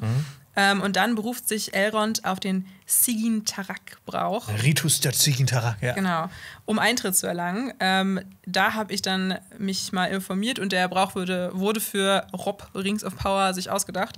Ähm, aber auf der Zwergensprache Kustul heißt Sigintarak Longbeard, was ja auch der Beiname ist von den Nachfahren von äh, Durin dem Ersten, also den Langbärten und dann auch Durin dem Dritten und Ja, Durin dem es, Vierten. es gab ja insgesamt so sieben Zwergenfamilien, Zwergenclans. Genau, Und äh, die Langbärte sind einer davon. ja. Ja. Und übrigens, äh, Fun Fact: Zwerge wurden im Durchschnitt ungefähr 250 Jahre alt. Ja, genau. Deswegen, das war- hatte ich auch noch aufgeschrieben als, Ach, eine, Okay. ja, als eine Sache, die ja später dann auch noch, wenn es um so, wie lange lebt man und so. Ja, da dachte 20 ich auch so, Jahre ach, nicht gesehen, ja. Aber ich meine, die Szene war so gut, das Ja. habe ich irgendwie dann, äh, ja, fand ich jetzt auch nicht so schlimm. Naja, auf jeden Fall sagt Elrond dann, er wird Celebrimbor in den Region wieder treffen und Celebrimbor ist ja so ein krasser Schmied und äh, Elrond ist aber ein krasser Diplomat und deswegen sagt er, lass mich ja mal hier meine, ähm, Ja. genau, mein Hobby, meine Überredekunst äh, unter Beweis stellen. Ja, und dann kommt es eben zu dieser Szene, wo das Tor aufgeht und die Zwergenwachen ihn dann eskortieren nach Casadum und dann setzt dieser Score ein und Elrond sagt Elmendeia, also es ist so eine Art Wunderausspruch auf Ken Quenya. Ähm, das ist ja die Hochelbensprache, die die Elben eher in Valinor gesprochen haben. Äh, genau, und die meisten Elben, die wir jetzt auch kennen, ähm, aus genau den Legendarium, die reden halt in Sindarin. Das ist jetzt so ein kleiner ähm, Sprachenexkurs. Und Kenya wird eigentlich nur noch so bei so Zeremonien benutzt, also bei so Elbenzeremonien. Ähm, genau, und die Zwerge sprechen ja Kustul und auch noch ein kleiner Fun-Fact: Zwerge haben ja meistens zwei Namen, denn äh, ihren wahren Kustul-Namen verheimlichen sie. Und deswegen steht auch auf den meisten Grabsteinen oder so, was wir auch schon gesehen haben. Wir haben ja schon einige tote Zwerg, äh, Zwerge gesehen, leider. Äh, genau, da machten sie immer ein Geheimnis drum. Das finde ich auch sehr cool. Aber dann sehen wir diesen Shot von Casadun. Ich habe fast geweint. Ja, Wie geil ist das, ja. bitte? Ich habe mich auch so direkt an die Gefährten zurückerinnert. So hat sich Gimli eigentlich so dieses, äh, diese, das vorgestellt, wenn die eintreten, Ja. dass das so aussieht. Ich habe auch direkt dran gedacht an Gimli und schade, dass er das nie gesehen hat. Ja. Ähm, ja, aber das Das ist auch großartig, schön von aus. vorne bis hinten. Voll, ich geile auch Musik, anderes geile Visuals. Auch so die Ideen so mit diesen, mit diesen äh, Erfindungen von den Zwergen, diese Aufzüge, wie die mit Licht arbeiten, Ja. dass die das reflektieren, äh, dass die auch da sowas haben wie, wie, wie, wie Gärten, Genau. die die auch, wo die Ja. dann Sachen anpflanzen können. Ähm, ich mag sowas, wenn das alles so eine, ne, wenn das alles so, so durchdacht ist und so eine innere Logik hat, Ja. dass man wirklich auch so, so sieht, so, ach ja, stimmt, da, da können jetzt Mhm. Zwerge leben. Die haben Essen, die haben ihre Sachen, die transportieren ja auch so in so einen riesigen Felsbrocken so im Genau. Hintergrund. Ja, ich fand, das war so detailreich und lebendig. Also es hat mir richtig gut gefallen. Und auch im Gegensatz dann zu diesen anderen, wie ich eben schon gesagt hatte, Öffnungsszenen, die für mich so ein bisschen ähm, ja, untot wirken, ist das ja auf jeden Fall sehr so gefüllt mit so einfach auch Zwergenkultur. mit Zwergen, ja. Genau, ja. Ja. Ähm, genau, und dann sehen wir aber auch nach diesem coolen Shot, äh, der nicht lang genug meiner Meinung nach hätte sein können, aber dann werden wir in so einen Raum geführt äh, und dann ist mir auch aufgefallen, die Zwerge rufen die ganze Zeit äh, so Schlachtrufe auf Kustul und dann mit einem Horn wird dann Durin der Vierte angekündigt. Ja. Und ich finde es schön, man sieht einmal so kurz so einen, so einen Zwerg und der hat so einen Golduhrschmuck, das, das sein ganzes Ohr so verdeckt. Cool. Müsste ich einmal gesagt haben. So. Ja, nee, nee, ja, ist gut. Fand ich schön. Äh, genau, und äh, Durin der Vierte wird ja gespielt von Owain Arthur. Und ich finde, das ist jetzt schon einer meiner Lieblingscharaktere. Ja. Ähm, Auf jeden Fall. Dann ist mir auch direkt aufgefallen, die Zwerge haben einen schottischen Akzent. Ähm, Passt. Passt auf jeden Fall wie die Faust aufs Auge. Ähm, Haben die auch bei der Hobbit schon. Genau, ja. Also, Ich aber ich finde das, genau, das hat man so, ja auch ein ich- bisschen erwartet. Ich habe es dann gar nicht noch auf Deutsch angeguckt. Das weiß ich gerade gar nicht, wie es da klingt. Stimmt, bei mir das muss ich ich auch mal nicht. noch nachtesten. Aber ich glaube nicht, dass die dann Schwäbisch sprechen oder so. ich hoffe nicht. Oder Sächsisch. Oder so bayerisch. ja. Aber wie ist das denn bei der Hobbit? Die reden ganz normal, glaube Ganz ich. normal, ne? Ja. Okay. Naja, ähm, auf jeden Fall kriegen wir dann noch mit, es ist einer Zwergentest der Ausdauer, also ein bisschen so deren Version der Bundesjugendspiele. Mm, Und das wurde von Aule, äh, das ist ja einer der Waler, der die Zwerge auch erschaffen hat, da haben wir auch schon mal in unserer Trailerbesprechung drüber geredet, ähm, selbst kreiert. Und äh, Durin erklärt dann auch Elrond, wenn er verliert, dann wird er für immer aus allen Zwergenlanden vertrieben werden. Äh, und wenn er gewinnt, dann da habe ich, hab ich mir jetzt, habe ich vergessen, was da, da wäre dann wahrscheinlich eine Audienz mit Ja. Durin oder darf einfach mit ihm reden wahrscheinlich. Darf er sich entschuldigen? genau, wahrscheinlich das. Ja, und Elrond ist so ein bisschen irritiert, auch weil er will ja eigentlich mit Durin, seinem alten Freund, reden, aber der scheint echt nicht so gut auf ihm zu sprechen zu sein. Durin hat einen langen Bart und das macht bei dem Namen auch Sinn. Ähm, Finde ich sehr gut. Ja. Wir sehen im Hintergrund auch äh, ganz viele dann Bewohner von Khazad-dûm Khazad, Doom. Genau. Und die Frauen, die leider keinen Bart tragen. In den Büchern war das ja der Fall. Das war ja auch eine lange Debatte. Zwergenfrauen äh, machen nur ein Drittel der Gesamtzahl der Zwerge aus ähm, und waren sonst Zwergenmännern auch sehr ähnlich. Und deswegen sagt man auch immer, dass die anderen ähm, Elben oder Menschen oder so sie meistens gar nicht von den Zwergenmännern unterscheiden konnten. Das war ja auch so eine große, ein großer Kritikpunkt, dass man zum Beispiel dieser gesehen hat und die hatte einfach keinen Bart. Genau. Ja. Finde ich auch immer noch schade, weil ich Ja. finde, hätte das cool gefunden, wenn man auch mal da so ein bisschen sagt, okay, ähm, das ist ja auch irgendwie eigentlich eine Antithese zu so Normschönheit von so Frauen. Ja. Also, man hat ja auch in der. Hobbit auch, ähm, glaube ich, ich weiß nicht, ob es die Extended-Fassung ist, und da gibt es da noch äh, Tal, diese Stadt Mhm. vor, vom Erebor. Und da hat man, glaube ich, auch Zwergenfrauen gesehen und die hatten wirklich auch Bärte. Genau, die hatten auch Bärte. Und deswegen frage ich mich auch, wieso die man das hier nicht gemacht haben. Und, aber man konnte schon unterscheiden, ne? Aber ich finde das immer so, äh, ich fand das eigentlich so schön aus der Erzählung von Gimli, ne, wie er das gesagt hat, dass, dass Mhm. Genau. man die nicht unterscheiden kann, dass Ja. direkt so das Kopfkino angeht. Ja, total. Und ich finde auch, man äh, weiß das auch nicht so, dass eigentlich so Zwergenfrauen ja auch äh, mega emanzipiert waren, weil die hatten sich jetzt auch nicht irgendwie verheiraten lassen oder so Ja. mit äh, anderen Zwergenmännern, wenn sie darauf keinen Bock hatten. Ähm, so, ich bin auch immer so ein bisschen so ein Zwergenfan, ich kann, ich kann mich nicht Ja. stoppen. Übrigens äh, noch zu Casadum, das heißt Ja. übersetzt Zwergenheim, also das haben die im Genau. Prinzip gesagt, Zwergenheim. Ist weniger cool auf jeden Fall die Übersetzung Ja. als Casadum. ja. Also ich würde jetzt auch nicht sitzen und sagen, Deutschland, Land. Kö Köln. Stimmt. Nein, du bist ja aus Bonn. Ich bin aus Bonn, Ja, Aber ich Köln, habe auch eine Liebe Bonn. für Köln. Okay. Ja. Ähm, Köln-Bonn, der Flughafen.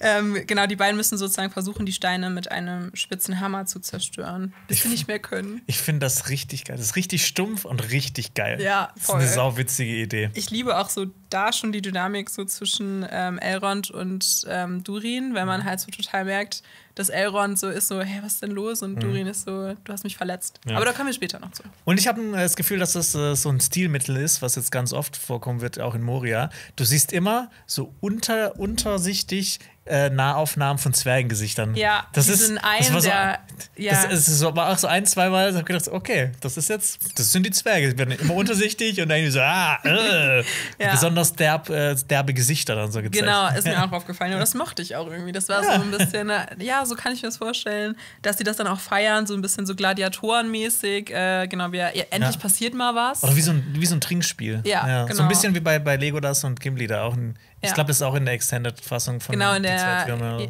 Nee, Äh, der. Krücke des Königs. Sicher? Ja. Rückkehr des Königs. Nach, nach der Schlacht von Helms Klamm. Ah, äh, stimmt. Feiern die ja. Doch, stimmt, stimmt, stimmt. Ich habe die letztens erst alle geguckt, aber ja, naja. Äh, genau, und dann Szenenwechsel. Ähm, oder hast du noch was zu Casadum? Nö, ich, hab, ähm, ich, bin, äh, ich fand das schön. Ich fand das mit einer der, der, der schönsten Elemente bisher Ja. in der Serie. Stimme ich dir zu.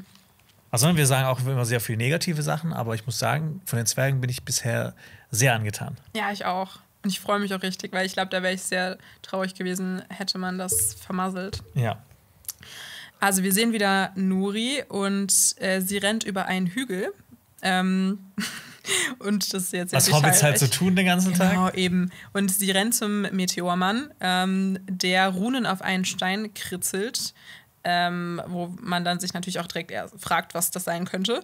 Ähm, aber Nori hat erstmal auch keine Ahnung, denn äh, genau, er schreckt sich so ein bisschen, dann biegen sich so die Bäume. Das ist nochmal, finde ich, sehr ähm, klar, dass er Zauberkräfte hat. Ähm, und dann Und, äh, erkennt sie er, er, er sie erst wieder von der vorherigen Ja. Szene. Ja. Und auch, ne, wie, wie sich das auch so zusammenzieht, diese Bäume um ihn herum, es wird so dunkler. Da habe ich dann auch wieder gedacht, das muss ein Zauberer sein, weil bei Genau. die Gefährten gibt es ja auch diese Szene, wo einmal Gandalf richtig pissig ist auf Bilbo Mhm. und dann wird ja auch alles plötzlich so dunkel. ja und stimmt, ich das meine, die nehmen sich ja oft so, so Elemente aus, aus den Herr der Ringe-Filmen. Ja. Ist ja klar. Genau. Ähm, Ja. warum dann nicht auch sowas? Aber das könnte natürlich auch wieder ne, so, ein, so, ein, äh, so ein roter Hering sein. Ja, ich glaube auch, es, ich hoffe, weil man sieht auch irgendwie an diesem, diese Decke, die er da auch so um hat. Also ich finde schon, er, er sieht vom Visuellen, vom Äußerlichen aus wie ein Zauberer. Äh, er scheint aber auch nicht so richtig sich verständigen zu können mit Nori. Ähm, genau, wir hatten ja auch die These, dass es Sauron sein könnte, aber da war ich dann auch wieder schon davon ab, weil ich so dachte, okay, ich glaube jetzt nicht, dass dass Sauron so tut, als könnte er keine andere Sprache sprechen. Aber wir reden da gleich nochmal drüber. Ja. Genau, er flüstert zwei Worte, und zwar Mana und Ure. Ja, Und da habe ich jetzt mehrere Theorien Ich gehört, auch. was das sein könnte. Was, Okay. was ist deine, was sind deine Nummer eins? Ich habe einmal, was ist Hitze? Äh, Hitze, ja, genau, was ist Hitze, ja. Ure heißt Hitze, aber es ist auch der 36. Buchstabe im Tengwa, was ich gerade gesagt habe, dieser Elbenschrift. Das W. Für Wizard. Ja, genau, für Wizard. Nicht schlecht. Genau. Ähm. Und Mana habe ich auch, was, was ist. Ähm, Oder natürlich, ne, Mana, das verbindet man ja immer mit Zaubern, ne? Wenn man Genau. nur äh, irgendwie was, sowas wie Diablo gespielt hat. Mana ist einfach so eine spirituelle Energie, die man braucht, um zaubern zu können. Und das ist halt eben dieses, was ist. Ja. Was ist Hitze? Ich meine, würde ja auch Sinn machen, dass er irgendwie, wenn er dann von einem anderen Ort kommt, da wo es keine Hitze gibt, Achso, dass er dann was, fragt, was, ist Hitze? Was, was ist Hitze? Da hat er gehört, ne, da hat er gehört, dass sie das gesagt hat, ne, dass das Feuer nicht brennt und das Ja.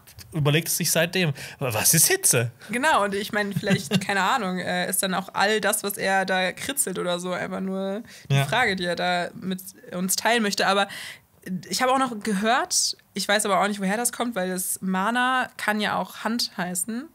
Und das könnte auch vielleicht Hand des Feuers heißen, was ja dann wieder mit dem Symbol von Sauron, was wir ja auch schon auf dem äh, Leichnam von Finrod gesehen haben oder auch äh, in der Otumno-Festung aus der ersten Episode. Ja, äh, und ne, was auch dazu passt, ich habe ja gesagt, seine Hände, die brennen so heiß und er hat auch schon Ja. Leute damit umgebracht. Ja. Und ich habe übrigens auch noch, noch eine, quasi so einen visuellen, ähm, so eine Assoziation mit diesem Symbol. Mhm. Das sieht so ein bisschen aus wie das umgedrehte, der Turm, Baradur aus dem Film mit dem Auge. Ne, das ist ja auch so ein Halbkreis du mit dem recht. Auge zwischendrin. Ah, okay.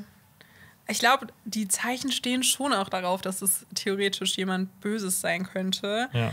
Ähm, ja, Nori versteht aber auch diese ganzen Runen nicht und sagt dann auch irgendwie so, ähm, ich bin doch nur ein Haarfuß.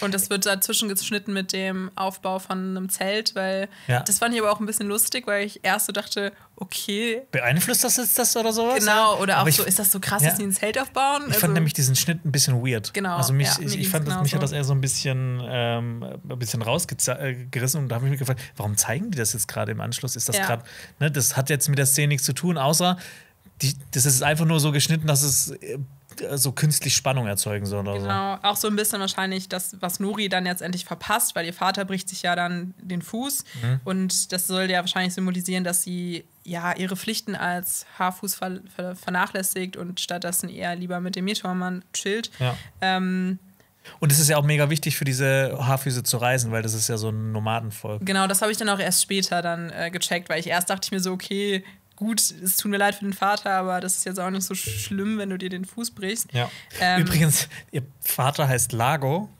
Mhm. Das äh, heißt auf Italienisch breit. Ah, heißt er nicht auch äh, See, Lago Maggiore? Nee, Largo. Also Ach so, ah, okay. Lago, ja, klar, Ja, Lago okay. mit, mit R noch. Okay. Ja. Ähm, Ja, die sieht auch. Wäre ein bisschen breiter gewesen, hätte er wahrscheinlich das Zelt aufbauen können. ja. Hast du was noch zu den Ruhen? Hast du da. Äh, nee. okay, ich, ich habe hab da was zu Ja, dann, dann lass mal verlauten. Ich finde, eine der Runen sieht ein bisschen aus wie. Und jetzt kommt wieder ein gutes Ohm. Jetzt Mhm. jetzt ist wieder wie ein G. Gandalfs Rune, ah, die er oh auch Gott, benutzt. stimmt. Ja. Und eine andere sieht aus wie ein T und ein anderes noch wie Qu, also KW. Mhm. Ähm, aber dieses G, ich komme nachher noch mal drauf zu sprechen, okay? Okay, Ja. alles klar. Ne, und diese Rune kennen wir. Also wenn es die ist, das, es war halt nicht so deutlich Aber, ist geritzt. doch, aber ist das nicht eher umgekehrt dann? Ja. Das ist schon ein, eher eine umgekehrte Rune, die Gandalf auch Ja, gezeichnet ja, hat. Ne? ja. Also es ist nicht das, genau dasselbe, weil. Nee, also ich, ich, ich bin mir auch noch sicher, ob es wirklich genau dasselbe ist, weil es halt auch so undeutlich geritzt ist. Ja, okay. Deshalb, aber vielleicht haben die es auch nur reingemacht, ne? Wenn's, wenn das ist, einfach, dass man immer noch Mhm. weiter, wenn man sich auch mehr damit beschäftigt, man weiß es halt nicht, ob der jetzt gut oder böse ist. Mhm. Ja. Aber ich finde, das spricht dann eher wieder für gut. Das stimmt. Ja. Auf jeden Fall merkt man ja auch, dass er Nori nicht verletzen möchte. Ja. Ähm, weil auch wenn, als dann Poppy kommt, um Nori zu informieren, ihr Vater ähm, ne, ist gestürzt, dann geht Nori zwischen die beiden und genau, dann scheint er auf jeden Fall jetzt nicht gewalttätig zu sein oder Ja. so. Ja, und dann sehen wir halt Nuri, wie sie dann ähm, bei ihrem, den, der Fuß vom Vater sieht nicht so gut aus und dann hat sie natürlich ein schlechtes Gewissen und ja, wird dann schwierig für ihn als Nomadenvolk, was die Haarfüße ja sind, äh, weiterzureisen. Das stimmt. Da ist mir auch aufgefallen, ich finde, Nori wird mir schon immer sympathischer. Ähm, ich finde, sie wird auch schon so ein bisschen eine Identifikationsfigur wie damals Sam und Frodo. Aber ich kann mich auch immer noch nicht so richtig damit anfreunden, vor allem, weil ich so im Gegensatz zu den anderen Szenen immer ein bisschen finde, klar, dieses Mysterium mit dem Meteormann, das zieht mich jetzt so ein bisschen Das in das die Szenen rein. ne? Genau, aber ja, ne, hätte man auch mit anderen Charakteren machen können. Ja, ich meine, der Meteormann hätte ja auch auf Numenor abstürzen können. Stimmt. Da hätte man Ja. keine Hobbits gehabt, sondern noch mehr Leute von Numenor. Oder Menschen, ne? Das wäre wahrscheinlich auch nochmal spannend gewesen, da vielleicht so ein bisschen mehr zu erfahren, ne? Ja. Dann kommen wir mal wieder zu Galadriel, der Olympiaschwimmerin. Mhm. Und ähm, sie wird von Menschen aus dem Wasser gerettet, nur um kurze Zeit danach von einem Wasserwesen fliehen zu müssen. Und ähm, genau. Die, die Galadriel, die zieht es durch. Die hat jetzt wirklich die ganze Nacht hat sie quasi, ist sie da durch das trennende Meer gekrault, Mhm. Ja. um, um nach Mittelerde zurückzukommen. Es gab doch auch letztens diesen Typen, der durch den Rhein geschwommen ist. Äh, Er ist krasser als Galadriel. genau, er ist auf jeden Fall krass. Aber als Galadriel. einmal drüber oder einmal Nee, nee, entlang? einmal entlang, aber der hat auch immer unterschiedliche Pausen gemacht, weil Ja. der ist auch durch Bonn geschwommen und dann wollten wir als Campus Radio irgendwie ein Interview mit dem führen und dann Ah. haben, haben wir uns auch so die ganze Zeit Jokes gemacht darüber, sind, sind wir dann auf dem Boot und interviewen ihn dann beim Schwimmen. Also es war Ach so, mit so einem Boot nebendran. Genau, aber le leider ist das nicht so passiert. Okay, ja. Ähm, genau, die, äh, die Menschen, die sind sich ja so ein bisschen uneins auf diesem Floß. Manche wollen sie retten, andere nicht. Aber sie ist ganz schlau, sie verbirgt ihre Elbenohren, äh, Genau. ihre, ihre, ihre spitzen Ohren.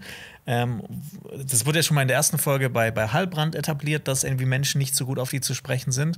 Aber nur um nochmal so den. Ähm, also es gibt ja nur so die einen Menschen und dann gibt es noch die Numenorer. Und die Numenorer waren aber auch so mit der Zeit irgendwann nicht mehr gut auf die Elben zu sprechen. Anfangs waren die auch befreundet, Ja. aber es kommt ja später raus, diese Menschen kommen ja auch aus den Süd, äh, Südlanden. Genau, Ja. ja. Und da sind die ja sowieso nicht so gut auf, auf Elben zu sprechen. Haben wir auch gesehen in der ersten Folge mit Arondir, ähm, genau, und Medor, dass sie ja dann auch so eine Art Posten sind, um zu überwachen, ob die Menschen nicht wieder Morgoth verfallen. Ja. Und das fand ich hier auch sehr interessant, weil dann ja auch wieder gezeigt wird, okay, es gibt so diese Frau, die ist dann Ja. äh, Galadriel ja auch dann direkt so zutraulich irgendwie sind und die anderen sind dann eher so, nee, wir können uns jetzt das nicht leisten, noch jemanden mit so aufs Boot zu nehmen. Das fand ich interessant, weil das Ja. ja dann wieder die Ambivalenz so von so Menschen und wie, ob sie jetzt so gut oder böse sind, darstellt. Ja. Ich finde es auch prinzipiell cool, wenn man auf so einem engen Raum oder so in einem Raum oder so, das gibt es ja ganz oft, da gibt es so Filme und Serien gehen ja ganz oft um diese Gruppen, äh, Gruppendynamiken. Mhm. Ja. Ahnung, So, ein- so ein äh,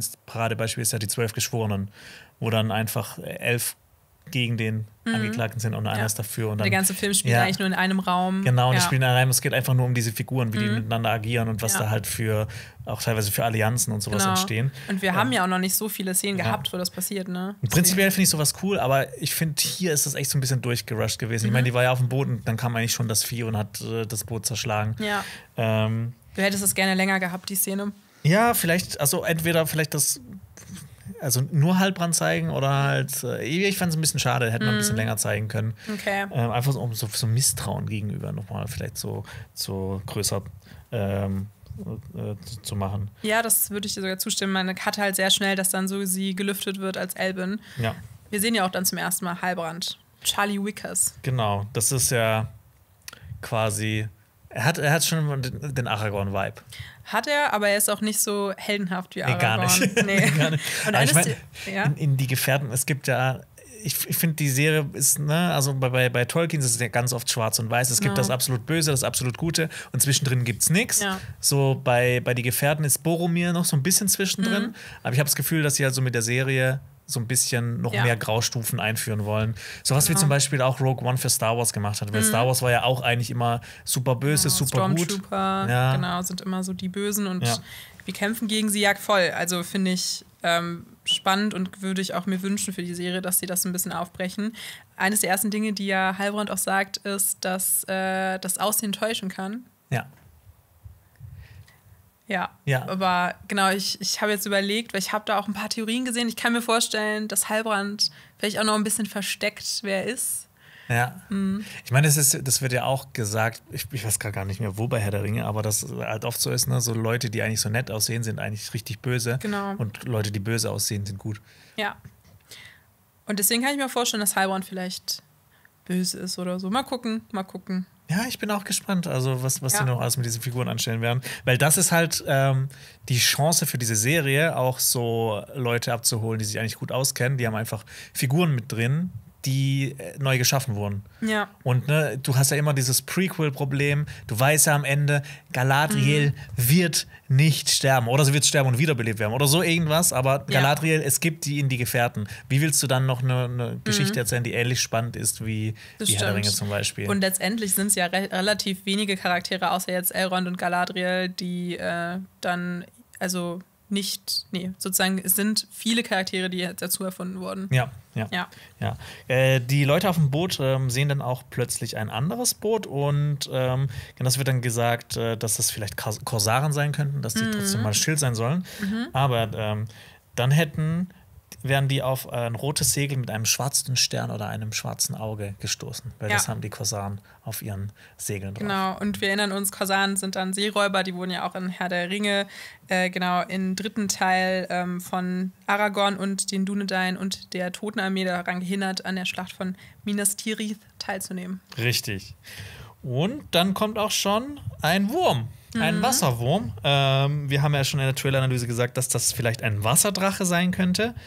Äh, die werden aber auch äh, Seeschlangen oder Fischdrachen genannt. Und ich finde auch, dass das sah schon sehr wurmig aus. Ja, Ich fand ich meine, auch. äh, Wasserdrache, ich meine, Drachen werden ja auch als Lindwurm bezeichnet. Deshalb, das passt ganz gut. Ich mag das auch, wenn Menschen oder generell, äh, das kennt man ja auch, äh, Dinge, die dann eigentlich so ein Fantasy-Tiere sind oder so, als so äh, Tierarten bezeichnen, die sie kennen. Also zum Beispiel, das sieht, also der Wurm, der große Wurm, ich finde Mhm. Ja. das irgendwie immer sehr cool. Ja, dass das so ein, äh, dass die nicht sagen, oh, ein Wasserdrache. Genau. Ja. Oder am besten noch diesen lateinischen Namen. Ja, Ein genau. Draconis. Draconis. Aquarius, ja. Ja. Ähm, Ich habe auch, wie gesagt, ich habe ich hab das in nicht so guter Qualität gesehen, aber ich, hat- ich habe mir irgendwie gedacht oder äh, dass ich gesehen habe, dass da eine Harpune in ihm drin steckt oder ein, ein Genau. Speer oder das sowas. habe ich auch aufgeschrieben. Ich glaube, der war auf jeden Fall schon häufiger mal äh, mit Menschen in Kontakt. Oder Ja. vielleicht ist es ja auch von dem Kampf mit dem äh, Originalboot von denen. Aber ich finde es generell auch so cool, ne? Das ist ja auch so Seemannsgar, ne? Dass man so von so großen Wasserwesen erzählt, die eine ganze Schiffe nach unten ziehen und sowas. Ja. Und du weißt ja im Endeffekt, es, also bei, bei uns in der Welt, das war wahrscheinlich, hatte irgend so eine natürliche Mhm. Ursache, keine Ahnung was. Es war bestimmt nicht ein Kraken, der irgendwie was runtergezogen hat. Genau. Oder vielleicht doch, weiß Man ich kennt nicht. ja auch- Ja, aber wenn genau. Mhm. dann sowas auch mal, ne? In dieser Welt ist das halt real. Und das finde ich eigentlich richtig cool. Ja, man kennt ja auch diese alten mittelalterlichen Karten, wo dann meistens auch immer Ja. so, ne, so Fantasy-Wesen dann in den Ozeanen dargestellt Ja, sind. Die immer, die ziehen immer die Schiffe runter. Genau. Ja. Aber spannend ja auch, dass ja bei Tolkien eigentlich im Legendarium ja offiziell keine drin vorkommen. Also Seeschlangen, äh, der hat ja auch mal dann eine Karte in Auftrag gegeben und da hat er das zum Beispiel auch nicht eingezeichnet, sondern eher nur unterschiedliche Schiffe von Mhm. unterschiedlichen äh, Völkern. Aber es gibt ein Gedicht, äh, von, in dem Tolkien auch davon redet, dass das Meer von großen Lebewesen bewohnt wird. Mhm. Genau, also es ist ein bisschen jetzt Auslegungssache, ob das auch ein, ein Wasserdrache sein kann. Ja, aber ich finde es generell cool, weil das einfach die Welt noch so ein bisschen abgefuckter, abgefahrener, mysteriöser macht. Ja. Ja, und ähm, Galadriel springt vom Floß, als dann dieses Vieh auf die zukommt. Naja, springt sie wie geschubst. Ja, okay. Aber sie springt, den Rest springt sie Ja, rein okay, und schwimmt sehr schnell weg. Und es ist so eine relativ lange Einstellung, die auch so halt unter Wasser ist und dann wieder über Wasser. Ich fand das auch war, war, war sehr schön umgesetzt. Ja, ja, doch. Nicht? Also ich fand, doch, doch, doch, ich weiß, was du meinst, aber ich fand irgendwie, Galadriel wird so sehr oft ins Wasser geschubst in der Folge. Ich finde, ähm, So. einer hätte mir gereicht. Ja. So als Teleri hätte sie da eigentlich ein bisschen.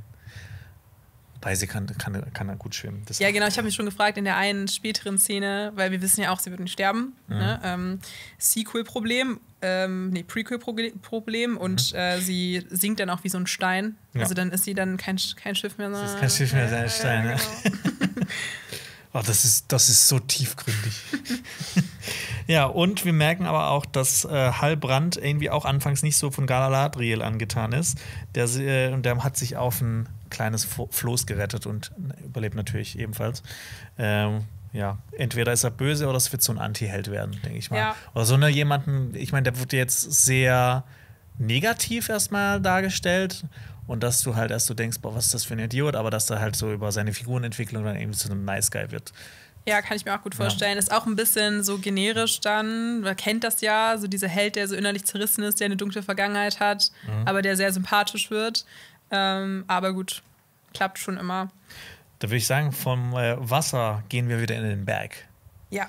In, äh, nach Moria. Äh, Elrond verliert den Wettbewerb, kann sich aber mit Durin versöhnen und wird von ihm zum Abendessen eingeladen. Ja, Zwerge, Xenia. Ja, ich ich genau. liebe Zwerge, du liebst Zwerge. Ja, reden, ja. Wir, reden wir über Zwerge. Gerne. Ähm, genau, Elrond verliert erstmal diesen Wettbewerb. Ähm, genau, mit, mit Taten kann er nicht gewinnen. Aber er ist ja auch ein Diplomat. Er löst ja eigentlich so seine Sachen, indem er Worte benutzt. Und ich meine, er hatte ja auf jeden Fall schon mal den Fu Fuß in der Tür gehabt, um an diesem ähm, Wettbewerb teilzunehmen. Und ich meine, jetzt lässt er ja quasi so sein, Han äh, sein Handelsgeschick, sein Geschick.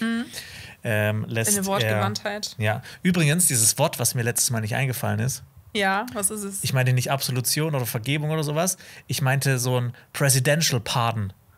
Okay. Also quasi so eine Pardon, so ein Pardon. Ah. Ja, Aber was ist das deutsche Wort dafür? das ist mir dann zwischendurch wieder eingefallen. Jetzt habe ich es schon wieder vergessen. In der dritten Folgenbesprechung werden wir das deutsche Wort dann sagen. ja. Ähm, So, sorry, dass es so random kommt. Äh, Zwerge. genau. Ja, genau. Elrond will halt äh, seine, seine ähm, Sachen mit Worten klären, weil Ja. das kann er halt am besten. Kurz dazu auch noch, ich fand das Outfit von Elrond sehr cool. Er hat ja auch so, ähm, Durit sagt ja auch später irgendwie so Vogel, Mhm. äh, Vogel-Outfit dazu, so ein bisschen ähm, Humor Relief mäßig. Ähm, und das hatte ich dann überlegt, es könnte auch eine, ein kleiner Hint sein an seine Mutter, weil äh, die ja zum Vogel wird, äh, eigentlich im Legendarium. Es Mhm. ist jetzt auch wahrscheinlich sehr aus dem Kontext gerissen, aber merkt euch einfach, seine Mutter wird zum Vogel. Und ich habe mir dann bei seinem Outfit gedacht, das Ja. sieht so ein bisschen aus wie ein Vogel. Also, was ihr euch merken könnt, umso weiter man in der Zeit zurückgeht bei Herr der Ringe, umso abgefahrener wird es. Ja. Umso Fantasy-mäßiger, sag ich jetzt mal. Und das hat mir sehr gefallen, aber ich mochte das Outfit von Durin nicht so. Ich finde, das erinnert mich so ein bisschen an das Kostümdepartment von Troja. So ein bisschen so viel Gold, viel Prunk, aber gut. Ja. Übrigens, äh, man sieht auch äh, Runen auf dieser Zwergenaxt, Mhm. die oder dieser Zwergenhammer, den Elrond benutzt. Und weißt du, was da drauf steht? Nee. Iron in our hands, Eisen in unseren Händen. Da habe ich mich nur eine Sache gefragt, ne, ich konnte die anderen Runen ja nicht entziffern, also weil das halt so gibberish war. Mhm. Ähm, das dürfte ja eigentlich nicht in Englisch da draufstehen, sondern müsste ja eigentlich in Kustul, Kustul. draufstehen. Stimmt. Aber das, ne, das ist jetzt, das ist jetzt nur, das ist, das ist so, das ist so egal. Ja, Aber das ist so ein kleines Detail, wo ich mir gedacht habe, vielleicht ganz schön.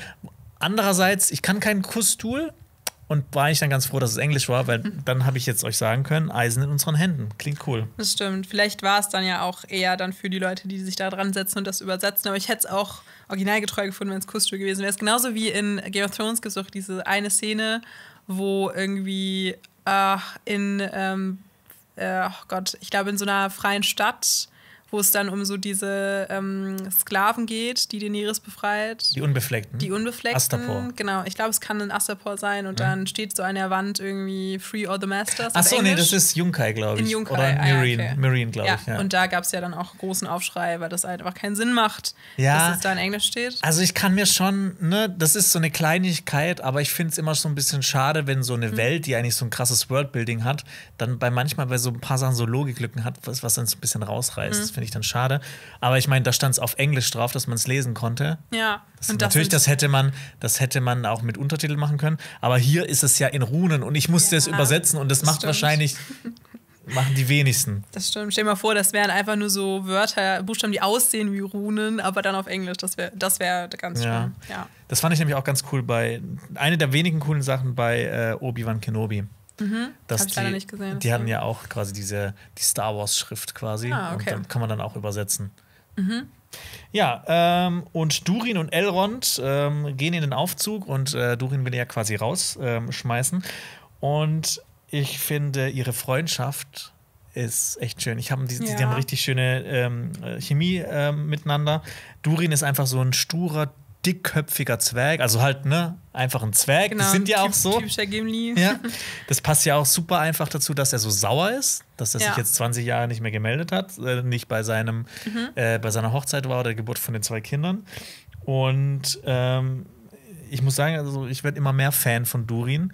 Und ähm, Wirklich. ja, Das ist auch eine meiner Lieblingsszenen in der ganzen Episode, dieser Dialog zwischen den beiden. Und ich finde das so spannend, dass hier mal dieser Konflikt mit der Unsterblichkeit auch so, so ein bisschen aufgegriffen wird. Das wird ja eigentlich auch noch voll wichtig in der Ja. Serie, wenn es dann nach Numenor geht oder so. Und ich glaube, das, darauf freue ich mich auch, wenn Ja. da das doch mal ein bisschen angesprochen wird. Obwohl Zwerge ja eigentlich auch 250 Jahre alt werden. aber das ist halt ein Bruchteil. Genau, schon ein Bruchteil für Elrons Leben jetzt. Ähm, ja, aber. Da das haben sich Arondir und. Bronwyn auch keine Gedanken drüber gemacht. Ja, Arondir hat ja Bronwyn eh gesehen, seitdem sie klein ist. Ne? Deswegen- Die, die. oh Gott. Ja. Äh, Durin hat übrigens, ne, das habe ich ja schon angekündigt, der hat ja auch äh, so, eine, so eine Rüstung an, quasi Ja. so, so, so, ein, so ein Gewand. Und da sind auch Runen drauf zu sehen, in Mhm. sehr, sehr groß geschrieben. Das war eigentlich relativ einfach zu übersetzen. Das war nicht ein Gibberish oder sowas. Ähm, Durin steht auf der einen Seite, einen Seite und Deathless auf der anderen Seite. Uh, okay. Also ab sofort bist du auf jeden Fall jetzt der Runenexperte. Du kriegst jetzt mir den voll Titel. Spaß. Ja, ich merk's. Ähm, Deathless, okay. Also, ne, Theoretisch wäre er ja Deathless, wenn äh, die das hingekriegt hätten mit ähm, der Reinkarnation der Udurins. ja. Aber gut, Es gibt, ja, nur um mal kurz noch mal das einmal an, an, an, zu, an zu ditchen. Es gab der äh, allererste ähm, Stammvater dieses Hauses, der Longbärte, äh, war Durin the Deathless. Der wurde so genannt, weil er so mega alt wurde, also weit über die 250 Jahre hinaus. Und es gab immer wieder neue Durins und die sollten quasi so eine, so eine Reinkarnation von ihm sein. Und Durin der Vierte soll eben auch eine dieser Reinkarnationen sein. Ja. Und deshalb ist, heißt er auch Deathless, weil er immer wieder, wieder und wieder kommt. Genau, aber theoretisch würde es dann eben keinen Sinn ergeben, dass es zwei Durins gibt. Ja. Aber in der Serie soll das anscheinend aber auch noch einen Grund haben, vielleicht auch von der Handlung her, dass das spannender gemacht wird, dass er eben einen Vater hat. Ich warte halt- noch drauf. Ja, ich glaube, das soll ja, ne, der Vater ist ja auch auf jeden Fall mit dabei, dass es einfach so einen Konflikt gibt zwischen Ja, den beiden, so einen genau. Vater-Sohn-Konflikt. Ähm, aber ja, ich fand es einerseits cool, ne, dass das da drauf steht, aber andererseits, machen das, macht man das so? Schreib mal hier, ich bin tu, tu, äh, Durin der Unsterbliche. Ist auch ein bisschen arrogant auf jeden Fall. Und das Ja. passt nicht so zu Durin, aber wer weiß. Oder wie so vielleicht. ein, wie so ein äh, hier so, so ein Wrestling-Titel oder so ein Box-Titel, da steht doch auch immer so Zeug drauf. Stimmt. Ahnung. Ich habe auch immer das, das Gefühl, Durin möchte ja auch ein bisschen verstecken, dass er eigentlich so eher so ein sensibler Typ ist. Das zeigt er uns ja dann auch im Dialog mit Elrond. Und so vor den Zwergen, der will er ja vielleicht auch so ein krasser Macker sein, Ja. der ja auch den Prinzentitel verdient. Ja. Ja. Ja, auf jeden Fall. Durin kann Elrond so ein bisschen verzeihen, beziehungsweise er, ähm, Elrond will sich ja entschuldigen. Genau, bei seiner Familie auch. Genau, und deshalb äh, lädt äh, Durin ihn nach Hause ein. Ich finde ich find so die ganze Chemie und Mhm. so dieser, dieser Witz Ja. ich glaube, sowas kann schnell langweilig werden, aber ich finde, die haben das gut umgesetzt. Finde ich auch. Ähm, und ja. das erinnert mich auch total an die Freundschaft zwischen Gimli und ähm, Legolas. Ja. Ähm, ja, dann kommen wir auch schon in die, in die Zwergenwohnung rein. Und was ich natürlich immer schön finde, ne, das ergibt dann auch wieder Sinn, die ist halt nicht so hoch. Und Ja. Elrond ist da auch relativ äh, kurz äh, äh, unter der Decke. Ähm, wir sehen auch Zwergenkinder, also wir sehen die nicht. Ich glaube, da hatten die auch Schiss davor, Zwergenkinder zu zeigen. Deshalb haben die einfach denen diese, diese Helme aufgesetzt. Ja. Ähm, die beiden heißen Gerda und Gamli. Fand ich auch witzig. Gamli, der Gammler. Habe ich mir auch gedacht. Und der hat so einen, ähm, so einen Drachenhelm auf. Das hat mich an eine Sache erinnert, die, will ich einfach noch kurz erwähnen, auch einfach nur, weil es cool ist. Ähm, es gab den Drachenhelm von Dorlomin. Und der gehörte einem äh, sagenumwobenen Mann namens Turin Turam Turamba.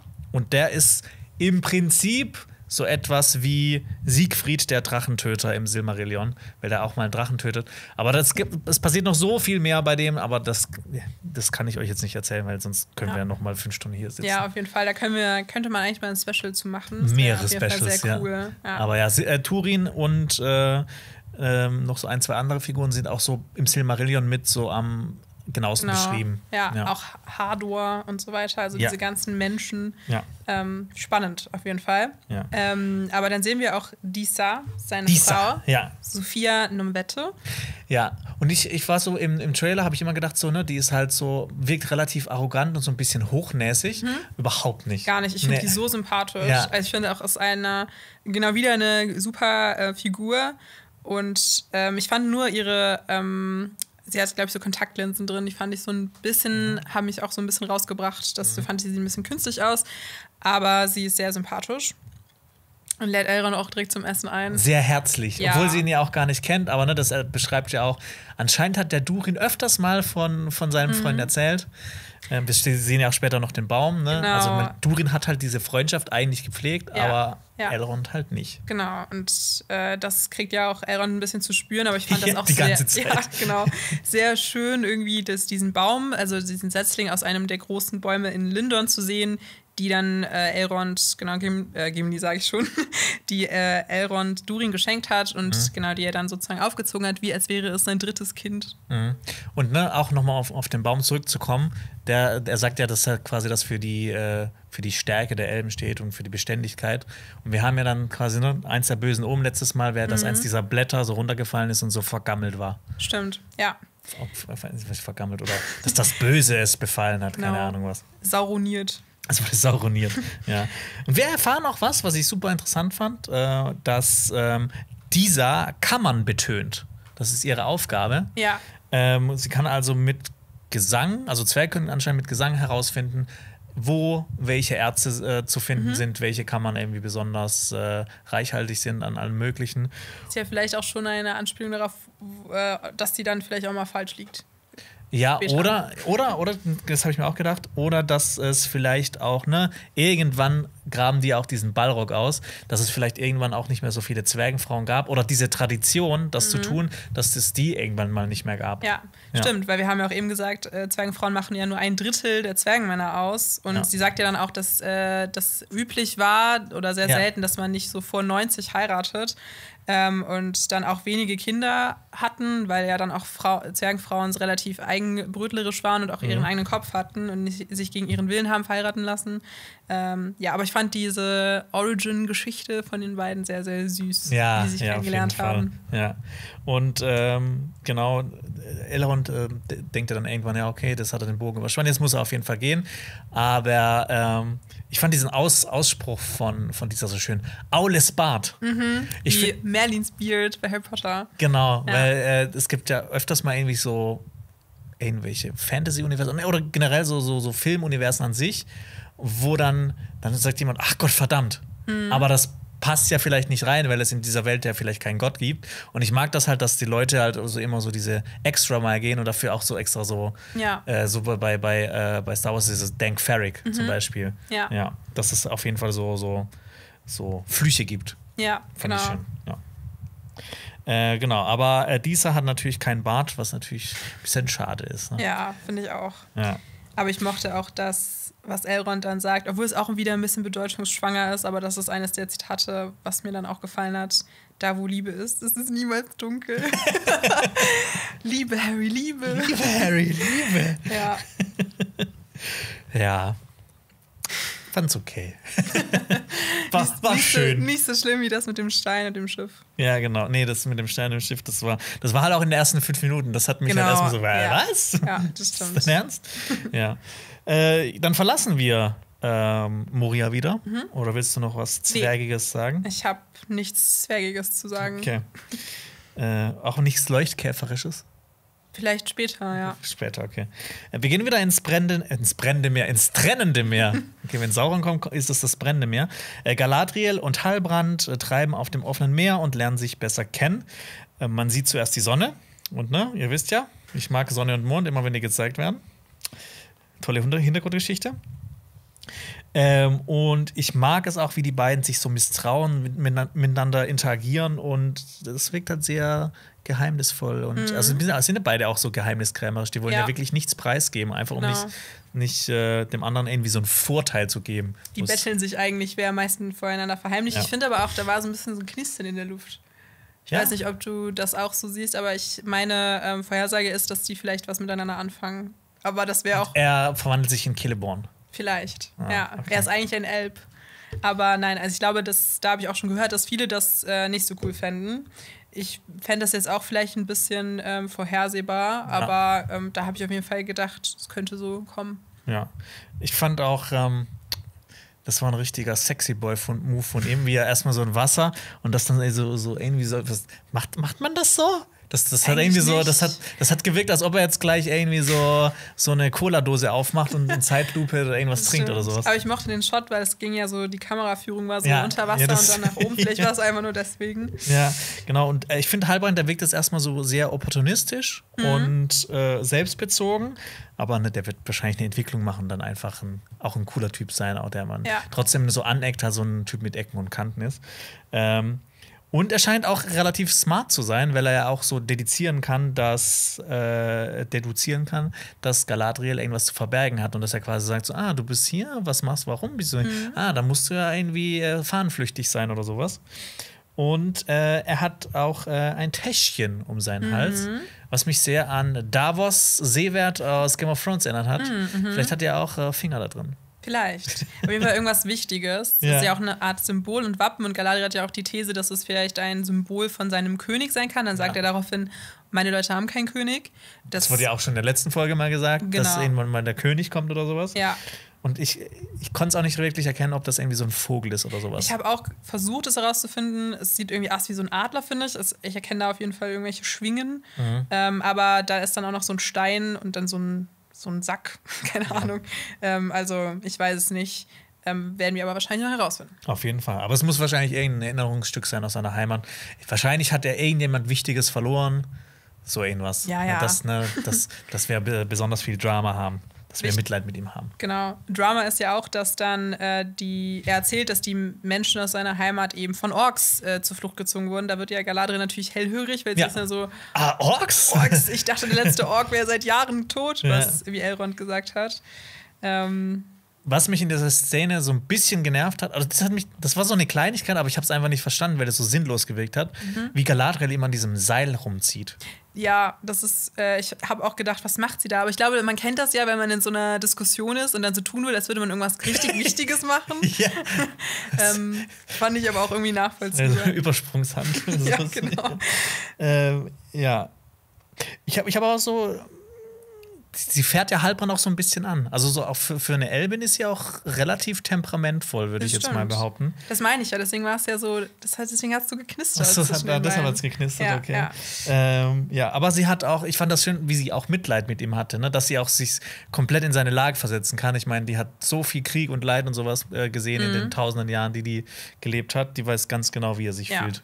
aber da muss ich auch sagen, das fand ich so ein bisschen, weil sie hat oft diese Dialoge, wo sie dann sagt, ich habe so viele Tode wurde schon gesehen, ich habe so viele Menschen schon verloren. Ja. Und es stimmt ja auch alles, aber ich finde, dadurch macht das sie so ein bisschen unsympathisch. Also Ja. vielleicht ist, soll das ja dann auch die Darstellung von ihr so sein, von der Figur, weil sie ist ja auch eine Elbin, die so sehr viel Stolz haben und äh, sehr viel darauf bedacht sind, auch Stolz ihr, ihnen zu bringen, also auch den Elben zu bringen. Ähm, ja, aber ich finde gerade so im Gegensatz zu den anderen Charakteren äh, fehlt mir bei ihr noch ein bisschen, obwohl sie ja schon diese ja, dass man so mit ihr mitfühlt wegen ihrem toten Bruder. Das Mhm. haben wir ja eigentlich schon bekommen von der Serie, aber ich weiß nicht. Irgendwie kann ich mich noch nicht so richtig mit ihr anfreunden. Ja, ich weiß, was du meinst. Ich finde es auch noch ein bisschen schwierig und es ist halt schade, weil das halt die wichtigste Figur ist für die ganze Serie. Genau. Ja. Äh, wir sehen aber auch wieder, dass Saurons Zeichen gezeigt wird, so kurz, so Ja. kurz so reingeflasht wird. Ähm, hat mich auch direkt erinnert, bei Herr der Ringe haben die auch immer wieder das Auge so kurz Ja. gezeigt, wenn es dann um den einen Ring oder um Sauron ging. Und äh, genau, Galadriel jagt Sauron schon seit dem ersten Sonnenaufgang, seit der erste Sonnenaufgang den Himmel blutrot getränkt hat. Da haben wir wieder deine Sonne. Ja, und wir haben natürlich hier wieder, ich finde auch so eine Parallele zu, zu ähm, äh, Die zwei Türme, wo Legolas sagt, eine rote Sonne geht auf. Heute Nacht ist Blut geflossen. Stimmt, eines von tausend Legolas-Zitaten, Ja. wo irgendwas vorhersagt. Ja, Ja, das stimmt. Ein Sturm zieht auf. ein Genau, Sturm zieht auf, genau. Ich habe äh, sonst, äh, Nichts. es stürmt, ja. Ja, alles klar. Ja. Nee, genau, habe ich auch. Ich habe mir noch aufgeschrieben, ich hoffe, dass äh, Heilbrand kein generischer Held wird, aber ich habe ja auch geschrieben, er hat ja auch schon seine Gefährten im Stich gelassen. Das würde Aragorn nicht machen. Ja, wobei man weiß halt auch nicht, ob das jetzt Gefährten sind oder einfach nur so irgendwelche Leute, die mit ihm gereist sind und er hat halt die Chance ergriffen, ist mitgereist. Okay, also würdest du das auch so machen, wenn wir jetzt auf einem Floß wären und würdest du dich dann eher Ich kenne dich jetzt ja schon ein bisschen. Ich würde noch ein bisschen warten, bevor ich dich runterschubse. Okay, alles klar. Okay, ähm, genau, wir kommen dann wieder zu einem Szenenwechsel. Ähm, und zwar sehen wir wieder Bronwyn ähm, mit dem Sauron-Theme im Hintergrund, was sehr unheilvoll wirkt. Mhm. Äh, sie rennt nach Tirharat zurück. Und dann sehen wir am Anfang ein paar Steinfresken. Das fand ich sehr spannend, weil wir sehen darauf Szenen aus dem Krieg gegen Morgoth. Mhm. Und man sieht auch einen Adler Manues, wie er Menschen angreift. Und das fand ich ganz spannend, weil das würde ja nur Sinn Ich machen auch. für diese Menschen, dass sie Adler negativ sehen. Ja, ich meine, das wird ja auch so gezeigt, ne, als ob das so eine Bestie wäre, die so ein, so ein, so ein Mensch aufspießt. Ja. Und ich habe das auch so interpretiert, dass die denken halt, dass die die Guten sind und Mhm. die anderen sind die Bösen. Ja, und das finde ich voll spannend. Also, das würde ich gerne nochmal. Ähm, So, so ein bisschen so Geschichts-, so Propaganda, so Geschichtsverzerrung. Ja, genau, dass man dann vielleicht auch so denkt, gerade diesen Konflikt mit Bronwyn und Arondir, wie- darüber, ob jetzt die Menschen gut oder schlecht sind. Ne? Vielleicht hat Bronwyn auch ähm, falsche, ja, falsche Geschichtsschreibung mitbekommen oder so. Mhm. Genau, sie ist auch beunruhigt und äh, erzählt dann Wald, Waldreck, ich weiß nicht, wie man seinen Namen aussprechen soll. Waldreck. der sieht auch aus, der sieht aus, als, ob er Waldreck an sich nennen wir ihn ab sofort Waldreck. Ja. Ähm, und erzählt ihm und den anderen in der Bar davon, äh, dass niemand in Hordern zu finden ist. Die sind aber unbesorgt. Äh, Waldreck sagt auch, ähm, das könnte sein, dass äh, das ein Erdbeben war. Mhm. Und er will auch nicht, dass die Elben zurückkommen, um sie ähm, ja, zu, wieder zu bewachen. Ja, wobei ich aber auch sagen muss, er hat auch so, so, eine, so eine kleine Weis Weisheit in sich. Er hat gesagt, ne, also so, so, so im Prinzip, ne, dass äh, ein Erdrutsch ist weniger gefährlich als so Gerede ohne Beweise. Was im Prinzip ja auch. Äh, ne? Stimmt. Ja. Hast du recht. Was auch so, was man auch vielleicht so auf un unsere, auf unsere Welt so übertragen kann. Auch wieder wahr, auch Ja. wieder wahr. Aber auf der anderen Seite wissen wir ja. Ja, wir wissen ja, dass es Bronwyn Orks sind, ja, das stimmt natürlich. Aber dann sehen wir auch in einem anderen Shot ihren Sohn Theo, der den Boden angreift, weil wir haben ja schon in der Greift den Boden an, das klingt geil. genau, weil wir haben ja schon in der Folge davor, das fand ich ja auch ganz ganz nettes Storytelling, dass er ja schon von den Mäusen geredet hat, die Mhm. ihn äh, abfacken und äh, dann schlägt er mit so einem Gegenstand darauf ein. Da habe ich dann direkt gedacht, er wirkt ein bisschen verändert. Er Ja. wirkt aggressiver. als Ja, vorher. also, ne, wir haben ja eh schon angenommen, ne, wir wissen nicht, wer sein Vater ist. Genau. Ist es vielleicht Sauron? Oh, bitte Nee. nicht. ne? äh, aber das, äh, er wirkt schon irgendwie so düsterer. Er hat ja auch dieses Schwert gefunden. Ja. Und ich meine, die Szene beginnt damit, dass er intensiv ins Feuer schaut. Und wenn Figuren intensiv ins Feuer schauen, dann ist das ja meistens kein gutes Zeichen, dass die irgendwie so äh, mentally stable sind, sag Ja, ich jetzt mal. Du hast recht. Er hat eigentlich alle Prämissen, um böse zu werden. Ja. Und er denkt muss nur noch Tiere quälen anfangen, sowas. Irgend so, so, so einen Hund treten. Ja. ja. ja. Genau, Kick the Dog, ne, Ja, kennt man genau. ja. Äh, durch das Loch im Boden schauen ihnen dann aber keine Mäuseaugen, sondern Orkaugen entgegen. ja. Dann sehen wir kurz Arondir in den Tunneln unter Hordern. Ähm, dann zieht er ein bisschen wie so bei ähm, hier ist äh, Silence of the Lambs so ein, so ein Nagel aus der Wand. Mhm. Äh, und genau da, die Szenen mochte ich sehr, weil die waren so sehr horrorfilmartig. Und hier wurde mal die Titelmusik auch subtiler eingesetzt Ja. als vorher, weil das fand ich ja so ein bisschen übertrieben. Ich fand es auch super interessant, weil es ist auch so sehr klaustrophobisch. Und so Elben in so einem engen Gang mal zu sehen, ist halt auch mal interessant. Und Ja. ich glaube, das ist halt auch einer der Gründe, warum J.A. Bayona dafür engagiert wurde, weil er kommt ja eigentlich auch so ein bisschen aus dem, Horrorfilmbereich. Der, der bringt ja immer so Horrorelemente in seine ganzen Filme rein. Ja. Also gerade so das Waisenhaus, wenn man das mal gesehen hat. Das sieht man auch später noch, wenn sich die Mutter so versteckt oder nicht so richtig sieht, wo ist das jetzt? Mhm. Genau. Das ist auch so, so eine Sache, die benutzt, also mit, mit solchen Sachen spielt er auch gerne, mit Mhm. so Erwartungen und so, lei so, so langsam und leise und nicht im, un- unbedingt so Jumpscares. Ja. Ja, Genau. sowas, für sowas ist er schon ähm, äh, bekannt. Das kennt man ja auch aus dem Horrorgenre, Ja. dieses Angst vor dem Unbekannten, nach dem Motto, ne, das, was du nicht siehst, ist gruseliger als das, was du siehst. Ja. Und ich meine, er hat aus Jurassic World 2, ne, der hat aus dem Jura oder Jurassic Park Film, hat er so ein bisschen einen Horrorfilm gemacht. Mhm. Ja. Das macht auch nicht jeder. Stimmt. Ja. Ja, auf jeden Fall, ähm, genau, rennen die Mäuse in eine Richtung und Arondir fällt dann in diesen Schacht hinunter und wird dann von Clownhänden von hinten festgenommen. Und ich weiß noch, in, dem, in der Trailer-Analyse habe ich gedacht, das sind Ents, Mhm. aber es sind Orks. Okay. Bronwyn- ich finde, dass die Finger jetzt nicht so orkig aussehen.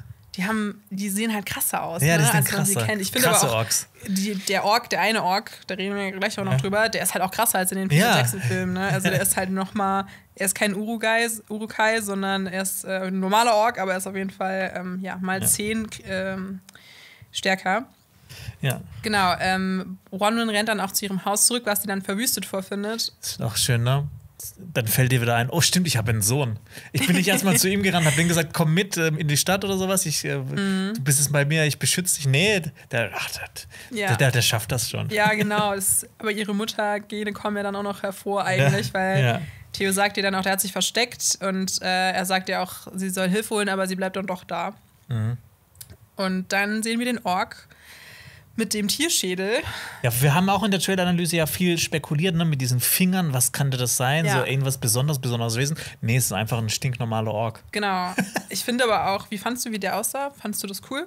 Ich fand das Design. extrem cool. Also diese, auch diese Nahaufnahme von diesen von seinem Mund mit diesen komischen Zähnchen, also so ein ganz, ganz merkwürdig. Also ich finde Orks sowieso faszinierend, die, die gibt es ja in so vielen Formen, aber die sehen halt immer so ein bisschen missgestaltet aus. Mhm. Ja. Als ob da irgendwas immer schief gegangen wäre. Genau, und ich finde auch, ich weiß nicht, ob das jetzt so bestätigt wurde, aber ich fand, er sieht halt aus, als wäre seine Haut verbrannt. Mhm. Und deswegen, das fand ich auch ein äh, cooler, ähm, cooler Hint daran, dass die ja dann sich vor der Sonne verstecken. Vielleicht hat er auch irgendwann mal seine Tiermaske zu Hause vergessen.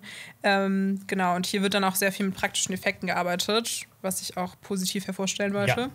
Aber ich habe mir dann direkt gedacht, was ist das für ein heftiger Ork, weil die fangen dann ja an, mit ihm zu kämpfen und ähm, Es ist ja richtig schwierig, ne? Die bohren irgendwie so ein langes, wie so ein Schwert, also so ein langes Eisending rein. Genau. Der hat ein Messer im Rücken, der wird kurz mal erhängt, und dann wird ihm der Kopf abgeschlagen. Und das ist dann wie bei Walking Dead so ein bisschen das letzte Mittel. Äh, damit kann man ihn umbringen. ja. Vielleicht aber habe ich mir auch direkt gedacht, wir sind ja auch daran gewöhnt, dass Orks in den Peter Jackson-Filmen vielleicht so ein bisschen Stormtrooper-mäßig nicht so krass sind. Ja, die kriegen ja auch mal, ne, das, oft ist das ja auch so, dann kriegen die mal eine Bratpfanne übergehauen von Sam und dann sind die auch ausgenockt. Genau. Und das finde ich aber dann vielleicht sogar besser gemacht, dass hier zwei normale Menschen, vielleicht die keinerlei irgendwie kriegerische Ausbildung haben, halt auch einfach äh, sehr lange brauchen, um so einen Ork zu töten. Das fand ich auch 100% genauso. Also, ne, dass du halt, Orks werden gezüchtet, um, um zu töten, um Krieg zu führen. Das sind eigentlich lebende Kampfmaschinen. Ja. Und oft sind, das ist auch witzig, die, die sind ja gar nicht so alt. Mhm. Das heißt, eigentlich kämpfen die gegen so einen Fünfjährigen vielleicht. Bisschen traurig. Das Ganze natürlich nochmal Ja, moralisch verwerflich. Ne, aber so ein einzelner Ork müsste halt auch schon eine riesige Bedrohung sein für äh, eine Mutter und ein Kind, Ja. was hier auch so gezeigt wurde. Und das hat mich auch so, wo du auch Walking Dead gerade schon erwähnt Mhm. hast, auch so ein bisschen dran erinnert. So in den ersten Staffeln von The Walking Dead sind ja auch einzelne Zombies, einfach Mhm. Ja. schon so ein riesiges, äh, so, ein, äh, so ähm, so eine riesige Bedrohung, Bedrohung, die man überwinden muss. Und irgendwann später ist das so bla bla bla bla bla, hier alle kaputt. Voll. Ähm, ich mag das so richtig gerne. Ähm, und ne, du hast ja auch so den direkten, direkten Gegensatz. Du sie- siehst in der ersten Folge, wie Galadriel so ihre Choreo Chore Choreografien macht und einen Schneetroll einfach abmurkst. Mhm. Und die haben ein Problem, Ork zu töten. Aber das fand ich cool. Das macht einfach die Bedrohung noch ein bisschen größer. Genau, und auch realer, ne? Ja. Ich mochte auch dann so diesen, ich glaube, das war ein Flash-Cut oder Jump-Cut, wo dann so gezeigt wird, dass sie eben so diesen Kopf von dem Ork auf die Bar, den, äh, den Bartresen haut. Ja. Und da dachte ich mir dann auch so, sie ist die bessere Galadriel. ähm, ja, und dann sagt sie dann, lass abhauen, Leute. Die Orks kommen. Ja, vernünftig. Und dann kommen wir wieder zu einem Szenenwechsel. und Wir sehen Galadriel und Halbrand im Sturm. Und sie haben auch Probleme, das Floß über Wasser zu halten. Ähm, und dann kommt es irgendwie dazu, dass die beide sich gegenseitig retten, weil ähm, genau sie ihm irgendwie ihre Hand reicht und dann aber leider ins Wasser fällt. Sie will sich an den Mast binden, Genau. Warum auch immer. Jesus. Hat auch Die ein bisschen eine. Jesus-Symbolik, genau, wie sie dann so runtersinkt. Ich finde, er überlegt ein bisschen zu lange, bis er sie rettet. Ja. ähm, aber dann macht er es doch und kann dann sie mit Finrods Dolch ähm, losschneiden. Ähm, schneiden. ja, und meine Vorhersage ist auf jeden Fall, dass sie beide bis ab so diesem Zeitpunkt miteinander verbunden sind, weil sie sich gegenseitig das Leben gerettet haben. Genau. Auf Und jeden Fall. Die haben ja beide quasi so eine Lebensschuld ja, gegenseitig. genau. Hast du da noch was zu? Nö, das war, ich fand es auch schön inszeniert. Ja. Ja. Aber ja, Ja. mehr habe ich jetzt auch nicht dazu zu sagen. Okay. Geht mir genauso. Ähm, Wobei so ein bisschen, was man da auch sagen könnte, ne? Herr der Ringe, die Gefährten, Sam geht unter und dann kommt irgendwann Frodo und zieht ihn hoch. Das ist ja auch so eine Parallele, die man vielleicht noch ziehen könnte. stimmt. Ja. Ähm, okay, dann kommen wir wieder zu Nori, Poppy und dem Meteormann. Lori Poppy und der, das klingt wie so eine Zeichentrick-Herr der Ringe-Serie. Kommt bestimmt direkt danach. Der Meteormann guckt sich die Sterne an. Und Nori sagt auch, dass es bald soweit ist, dass die Hobbits wieder weiterziehen und dass sie versucht hätte, ihm zu helfen, aber dass das ja anscheinend nicht klappt, weil die beiden nicht sich verständigen können. Und dann kommt es zu der berühmt-berüchtigten Glühwürmer-Szene, denn sie scheinen seine Aufmerksamkeit zu erregen. Und dann geht diese Lampe kaputt, in der sich die Glühwürmer befinden. Und genau dann scheint er sie so ein bisschen zu verzaubern, dass sie eine Art Sternbild bilden. Ja, aber was ne, dann nimmt sie auch so in die Hand und flüstert denen was zu. Genau. Und das hat mich wieder saukrass an Gandalf und diese Ja. Motte erinnert. Genau, mich auch. Dann hat man wieder Gandalf das Gefühl, ah, der ist gut, das ist vielleicht ein Zauberer, doch wieder. Ja, Ja. genau. Auf der anderen Seite flüstern verbindet man ja natürlich auch immer mit Frodo und den Ringen Ja. und äh, auch Sauron. Das heißt, ich muss sagen, aber auch die ganze Szene wirkte auf mich jetzt auch nicht so freundlich. Also er wirkte Ja, ja, so, so beides so, ne? Das ist immer so, so, Genau. eigentlich so ambivalent. Ja, und ich finde auch das Sternbild, was er dann zeichnet, das hat er ja auch vorher in den Sand gezeichnet. Da habe ich auf jeden Fall eine Parallele gesehen. Mm. Und Nori glaubt dann auch, dass man, dass die beiden ihnen helfen müssen, diese Sterne zu finden. Ja, ich meine, was jetzt auch noch äh, ein äh, Punkt sein kann, dass er gut ist, er schaut halt in die Sterne hoch und mit Sterne und sowas verbindet man eigentlich immer Elben und die Wala, also Ja. so mit die, die guten Leute. Und dieses Sternenbild, ähm, das sieht so ein bisschen aus wie so ein K, ne? Mhm. Also sieht nicht so ganz aus wie das, was er vorhin gezeichnet hat. Also das war schon eine andere Rune. Ähm, und witzigerweise, diese Rune steht ebenfalls für G. Die jetzt eher mit den Ja, Sternen zeichnet. genau, dieses K, das steht ebenfalls für G. Also haben wir schon wieder Gandalf. Ach Gott, wenn es Ähm, Gandalf ist, ne? Oder sucht er vielleicht Galadriel? Oder Gilgalad? Ich meine, das würde ja auch Sinn machen, dass er sagt, er will so die Sterne finden. Und da dachte ich, so Sterne könnte ja auch bedeutend für Elben stehen. Vielleicht Mhm. sucht er wirklich dann eben eine Elbin oder eine Elbe. Oder er sucht die Band, die Sterne. Ja. Kann auch sein. Und äh, ich meine, Sternbilder, das wird ja auch gezeigt. Ich habe auch äh, erstmal geguckt, ähm, ob das vielleicht irgendwie ein Sternbild ist, weil es gibt auch in der Welt von äh, Tolkien ganz viele Sternbilder. Ja. Zum Beispiel die Valakirka. Ähm, und die sind auch immer mit, äh, mit, mit großer Bedeutung aufgeladen. Ähm, aber ja, fa falls das auch ein Sternbild aus unserer Welt ist, ne? Ihr Leute da draußen, die suchen die Astronomie mögt. Astronomen. Ab in die Kommentare mit euch. Ja. Und ja, ich, ich habe nach dieser Szene habe ich immer noch das Gefühl, ich weiß nicht, ob der gut oder böse ist. Ich habe eine hab ne Theorie. Mhm. Also, ne, Hau raus. ne, G. Gandalf und sowas, das ist ja schon eindeutig. Aber es kommen auch immer wieder diese bösen Sachen, ne, dass, dass er irgendwie so, irgendwie auch so böse wirkt oder dass diese Leuchtkäfer dann kaputt gehen oder sowas davon. Ich kann mir vorstellen, dass es vielleicht beides ist, dass er ein Maya ist. Und wir wissen ja auch, es gab gute Maya, wie Gandalf oder wie äh, Melian oder äh, viele andere. Und es gab auch böse Maya, sowas wie Balrog oder Sauron. Und vielleicht ist er so ein Maya, der noch dazwischen steht. Könnte ja sein, dass er auch aus Valinor verbannt wurde oder keine Ahnung was, weil er wurde ja dann, der Meteor kam aus der Richtung. Ja. Aber meine Theorie ist, dass, dass der Typ Maya ist und Okay. aber noch nicht so ganz genau weiß, ob er jetzt gut oder böse ist. Okay, da würde ich sogar fast mitgehen. Also das heißt, du, er könnte sozusagen beides sein. Ich fände es spannend, wenn er böse wäre, weil dann würde dann diese ganze Storyline mit Nori auch noch mal mehr Gewicht kriegen, Ja. weil diese neugierige Art von ihr theoretisch dann dazu führen könnte, was ja Gegallert auch gesagt hat über Galadriel zum Beispiel, dass dann eher mehr ja, Sand aufgewirbelt wird und dass es dann eher dazu kommt, dass sie dafür verantwortlich ist, dass Mittelerde in Gefahr ist. Ähm, ich fand, es gibt ja mehrere Indizien, dass es theoretisch auch Sauron sein könnte. Also, das, ne, jetzt um ein bisschen das deiner These entgegenzustellen, also die Einschlagsstelle sah aus wie ein Auge. Sauron hatte auch Zauberkräfte, also Sauron war ein Maya. Ähm, die Serie sagt ja auch, dass das Feuer in diesem Krater nicht heiß ist, genauso wie in der Festung, wo Galadriel das Zeichen von Sauron gefunden hat.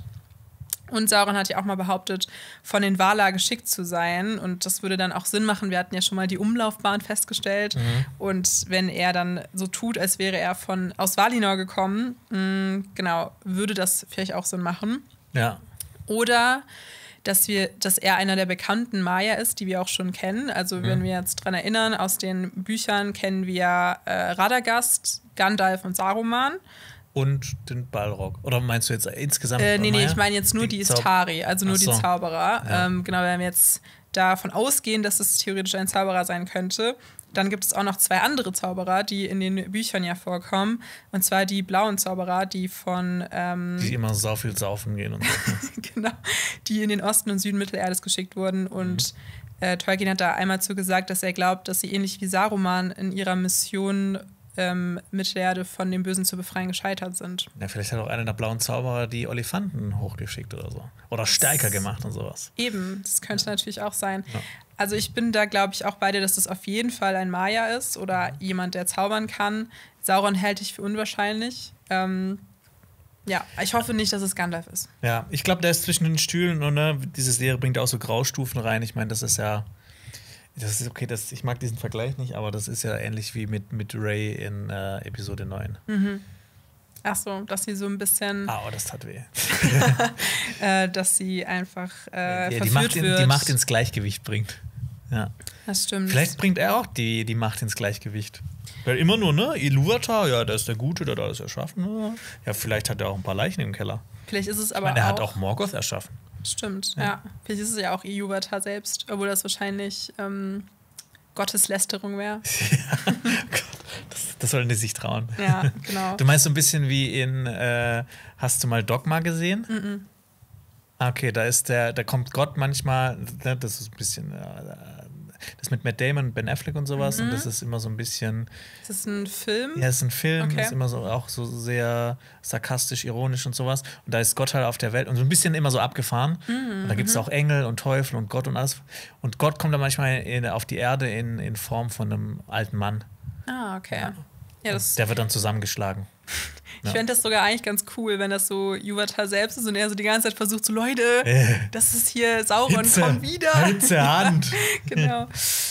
ähm, ja, aber lass uns die Diskussion, wenn wir mehr über den Meteormann erfahren, noch ein bisschen verschieben. Ja, aber ich mag das. Also ich mag das voll gern bei der Serie, dass das mit dem Meteormann, dass das einfach so viele, so eine, ne, dass man da richtig so seine Fantasie spielen lassen kann, dass das so viele Theorien Ja. sich äh, zusammenspinnen Die kann. Gefahr bei sowas ist ja immer, dass dann die Realität nicht so cool ist wie die Theorien, die man Ja. aufstellt.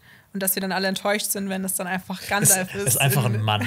ja, genau. ist einfach ein Mann. Ja, ähm, Okay, aber gehen wir wieder zurück nach Casadum. Ja, gerne. Durin hat Angst, dass der Durin der Dritte, wir sehen nämlich, komme ich schon durcheinander, äh, sehen wir nämlich Durins Vater, Durin dem Dritten, und er sagt, dass er hofft, dass Durin der Vierte ähm, das Geheimnis der Zwerge gut vor Elrond verborgen hat. Und er sagt auch, dass er zu weichherzig ist, was die Elben angeht. Er sagt, er ist wie Sandstein im Granit, was die Elben angeht. Das ist schöner ausgedrückt. Richtig schön für die, Ja. für die Zwerge, ja. Äh, dann Äh, sieht man auch schon den Konflikt. Er ist wahrscheinlich Ja. ein bisschen altmodischer und feindlicher den Elben gesinnt als jetzt Durin der Vierte. ja. Und sie beide blicken dann auch in eine Box, die leuchtet. Ja, ist wahrscheinlich das gleiche drin wie in dem Pulp Fiction Koffer. Wir werden es vielleicht nie erfahren. Was ist deine Theorie, was da drin ist? Boah, da, da mache ich ein Special mal drüber. Ja? Das, das, das, das, ich glaube aber auch, dass es sowas ist, was jeder immer mal gefragt bekommt, wenn man ein Filmfan ist. Was ist denn deine Theorie? Achso, nee, ich meine, was jetzt So, in dieser so, Box dem, drin ist. Achso, ich wollte gerade sagen, ähm, Das ist ja, ne, in, in, die Seele soll da drin sein. ja, ja, genau. Ich Marcel dachte Lissauer, jetzt gerade schon, wir machen hier Ja. ein äh, Herr der Ringe-Video. Äh, genau, ich glaube, dass es ähm, Mithril ist. Ich glaube auch, dass es Mithril ja, ist. genau. Ohne, dass dass die halt gerade ne, so eine große Ader gefunden haben. Ja. Das, man weiß ja auch nicht, wann zum ersten Mal in Moria das, glaube ich, so abgebaut wurde. Vielleicht haben die jetzt die erste Ader so gefunden. Ja. Und ich meine, Mithril ist ja bei allen Völkern super beliebt. Ja, Und genau. ne, wenn dann die Elben sind, dann könnt ihr ja annehmen, ja, die haben irgendwas erfahren, dass das Mithril hier gibt. Mithril hier gibt. Da kommen wir mal rüber und machen jetzt mal auf nette Nachbarn, dass wir Ja. auch was abhaben können. In den Büchern war das ja auch eigentlich so, dass Eregion gebaut wurde, weil man eben dieses Mithril-Vorkommen in. Casadum eben ähm, genau mitbekommen hat und dann daraufhin sich da ansiedeln wollte, um das dann abzumeinen. Ab zu meinen. Tut mir leid für das Englische. Äh, genau, und dann kommen wir wieder zu einem Szenenwechsel. Achso, nee, ich, ich du noch eine Sa? Sache Ja. sagen zu, zu Durin dem Dritten. Genau. Mhm. Ich fand, der hat mir auch schon sehr gut gefallen, also dass es so krummelig ist und auch so, ne, der ist halt nicht so vertrauens, also vertrauensvoll wie sein Sohn. Und ich glaube, das wird auch noch sehr wichtig werden für die Handlung. Mhm. Und ich hätte noch eine Frage. Du hast ja immer wieder gesagt, so, das ist auch so eine Sache, die dich so ein bisschen stört, dass Ja. Durin der Dritte auf Durin den Vierten trifft, dass das ja eigentlich nicht möglich ist. Ja, genau. Bist du jetzt, wo du sie zum ersten Mal zusammen gesehen hast, immer noch nicht so 100% überzeugt? Ich glaube, ich bin immer noch nicht so hundertprozentig überzeugt. Also ich habe da jetzt auch per se, also das ist ja auch immer so die Frage jetzt, ob man sich daran dann so aufhängt, dass das jetzt äh, ne, nicht gut repräsentiert ist von Tolkiens Werk. Ja. Aber wenn man darüber hinweg sieht, ja, ich bin offen dafür, dass das dann noch ganz cool ist, die Dynamik. Aber ja, ich finde jetzt der eine Dialog, der hat mich jetzt noch nicht überzeugt davon, dass es notwendig war. Sagen wir mal so. Ja, okay. Das war nur meine Okay, aber du bist begeistert. Ich bin jetzt auch nicht begeistert, dass die aufeinandertreffen. Ich finde, das Okay. hätte man auch anders lösen können. Ich, wenn es noch irgendwie innerhalb dieser Handlung irgendwie noch Sinn ergibt, ne? wenn es nicht Mhm. einfach ist so, oh, Durin der Dritte, Durin der Vierte, das ist, machen wir es einfach Mhm. nur, weil, weil wir es können. Wenn es noch irgendwie erklärt wird vielleicht, dann fände ich das auch cooler. Aber ich glaube, für die Leute da draußen ist das vollkommen egal. Ja, und das ist auch okay. Ja. Ähm, ja. Okay, wir sehen äh, Theo, der wieder die, ich nenne sie mal Morgul-Klinge, die umgekehrte Morgul-Klinge hervorholt. Ähm, und das war sehr cool. Sein Blut fließt nach oben und dann stellt sich die Klinge wieder her. Umgekehrt Ja. wie die Morgul-Klingen aus der Herr der Ringe. Und ja, da habe ich mir auch gedacht, er ist der Auserwählte. Böses Blut. Böses Blut. Ja. Ich meine, er ist ja auch einer von den bösen Menschen. Ja. Er hat die Sauron-Klinge in der Hand. Vielleicht ist da irgendwas. Da ist noch, mit, mit dem Stein auch noch, ne, wo das mit den Adlern war, dass, dass die anderen böse sind. Ja. Passt ja auch alles. Aber irgendwie, ähm, wie gesagt, ich habe letzte Folge schon gesagt, ich, ich mag den irgendwie. Ich kann voll mit dem mitfühlen. Irgendwie. Okay. Ja. Aber vielleicht kommt es auch daher, dass äh, ich früher auch so eine Frisur hatte, so eine schöne. Achso, ich Ja. dachte schon, warst du früher auch, ähm, äh, keine Ahnung, Morgul, Morgul-Klingen. Nee, nee. Aber ich hatte auch eine alleinerziehende Mutter. Ah, Deshalb, okay. ja. Das verstehe ich. Ja, und ich habe gern mit Messern gespielt. Hm. Nein, habe ich nicht. Ist auch mal ein Ork äh, erhangen. Ja, Ich fand dann, das war auch, ist ja so ein unnöt- unnötiges Detail, was ich mir aufgeschrieben habe, aber er pustet dann drei Kerzen aus. Das ist auch sehr. The Rule of Three. Ach so, ich habe gedacht, du willst jetzt hier äh, Alper-Konkurrenz machen. Achso, ja, ja, das stimmt, das auch. Aber es gibt nicht so viele Kerzen zu sehen. Ich warte immer noch auf diesen Numenor-Shot, den wir schon im Trailer Hast du denn gesehen mit haben. 1000 Kerzen? Ja, Also ich könnte auch äh, das Bild Alper schicken, dann macht er das für uns. boah, das wäre natürlich super. Das ist seine Lieblingsbeschäftigung. ja. Ähm. äh, ist dir noch aufgefallen, als er die auspustet, dass er irgendwie so ein Symbol auf, dem Mann, auf seinem Mantel drauf hat? Das, das sah Nee. ein bisschen aus wie so ein Schwert. Aha, nee, ich. das ist mir noch nicht aufgefallen. Musst du noch mal reinschauen. Okay. Ich fand, das sah. Ich habe keine Ahnung, was das bedeuten soll oder ob das stimmt, aber ich finde, das sah ein bisschen aus wie ein Schwert. Aha, okay. Okay, gut. Ist mir gar nicht aufgefallen, aber danke für den Hinweis. Ja, auf jeden Fall ähm, sagt dann seine Mutter, ähm, genau, ob er fertig ist. Und dann sagt er, ja, ich bin bereit. Und genau, die Szene endet dann, wie die beiden sich den anderen Menschen anschließen und dieses Sauron-Lied ballert. Das ein Liedballert. Genau. Ja, aber hat mich äh, auch so ein bisschen erinnert, ach, das erinnert mich alles immer so an Herr der Ringe, Ja. Na, wie die Menschen jetzt in, diese, in, diese, in diesen Wachturm reinziehen, Mhm. so ein bisschen wie die Ro Rohirrim ziehen von Edoras nach Helmsklamm, weil sie sich da besser verteidigen können. Mhm. Ja. Vielleicht gibt es dann auch noch eine große Schlacht. Hoffentlich. Also wenn es in der ersten, äh, in der ersten Staffel keine große Schlacht gibt, bin ich ein bisschen enttäuscht. Ich glaub schon. Also ich meine, es gab schon eine große Schlacht, aber Nur in dem im Prolog. Prolog. Ja. ja. Ähm, genau, wir kommen zur letzten Szene. Ja, die hat mir gefallen. Mhm. Wenn man da wieder sehr viel reininterpretieren kann. Genau, wir sehen Galadriel und Halbrand auf einem Floß und sie werden von einem Schatten auf einem Schiff überrascht. Ja. Dann habe ich eine Frage. Jonas, wer denkst du, könnte das sein? Also, das ist. Ich, ich finde, es ist eindeutig. Das ist eindeutig. Ja, ich Okay. hätte 100% gesagt, das ist Elendil. Ja, ja, habe ich auch. Also, Elendil. Elendil kennt ihr aus dem Prolog. Das ist der Typ, der gegen Sauron kämpfen wollte, von dem gegen äh, den Felsen geschleudert wurde, Mhm. kaputt war. Und ähm, mit seinem Schwert hat dann sein Sohn Isildur äh, den Ring von Saurons Hand geschnitten. Und er wird auch ähm, manchmal Elendil der Lange genannt. Äh, äh, genau. Genau. Genannt. Ja, weil er 2,40 Meter groß Ja, ist. weil Numenora waren äh, sechs, fast an die sechs, sieben Meter Ja. groß und äh, sehr viel größer als die Menschen. Ja, und sein Penis wurde auch der Wasserdrache genannt. Schön. ja, äh, genau. Diese Sonne kommt von hinten, verdeckt so, so ne? also das über, überblendet alles. Er hat eine Sonne auf seinem Schwert. Er hat Sonnen auf seiner Rüstung. Ähm, er, sein Sohn heißt Anarion, Sohn der Sonne. Und sein Schwert Narsil, das, was mit dem dann auch später Saurons Finger abgeschnitten wird äh, und der Ring, ähm, das ist, das soll mit dem Licht von Sonne und Mond geschienen haben. Ja. Also für mich, jemand, der Sonne und Mond mag, in Herr der Ring ist das eigentlich das Schwert. Äh, genau, deshalb hätte ich jetzt gesagt, es sprechen so viele Zeichen mit der Sonne, der Sonne auf der Rüstung, der Sonne auf dem Schwert und dem Sohn. Der Sohn der Sonne heißt, spricht eigentlich so viel für Elendil.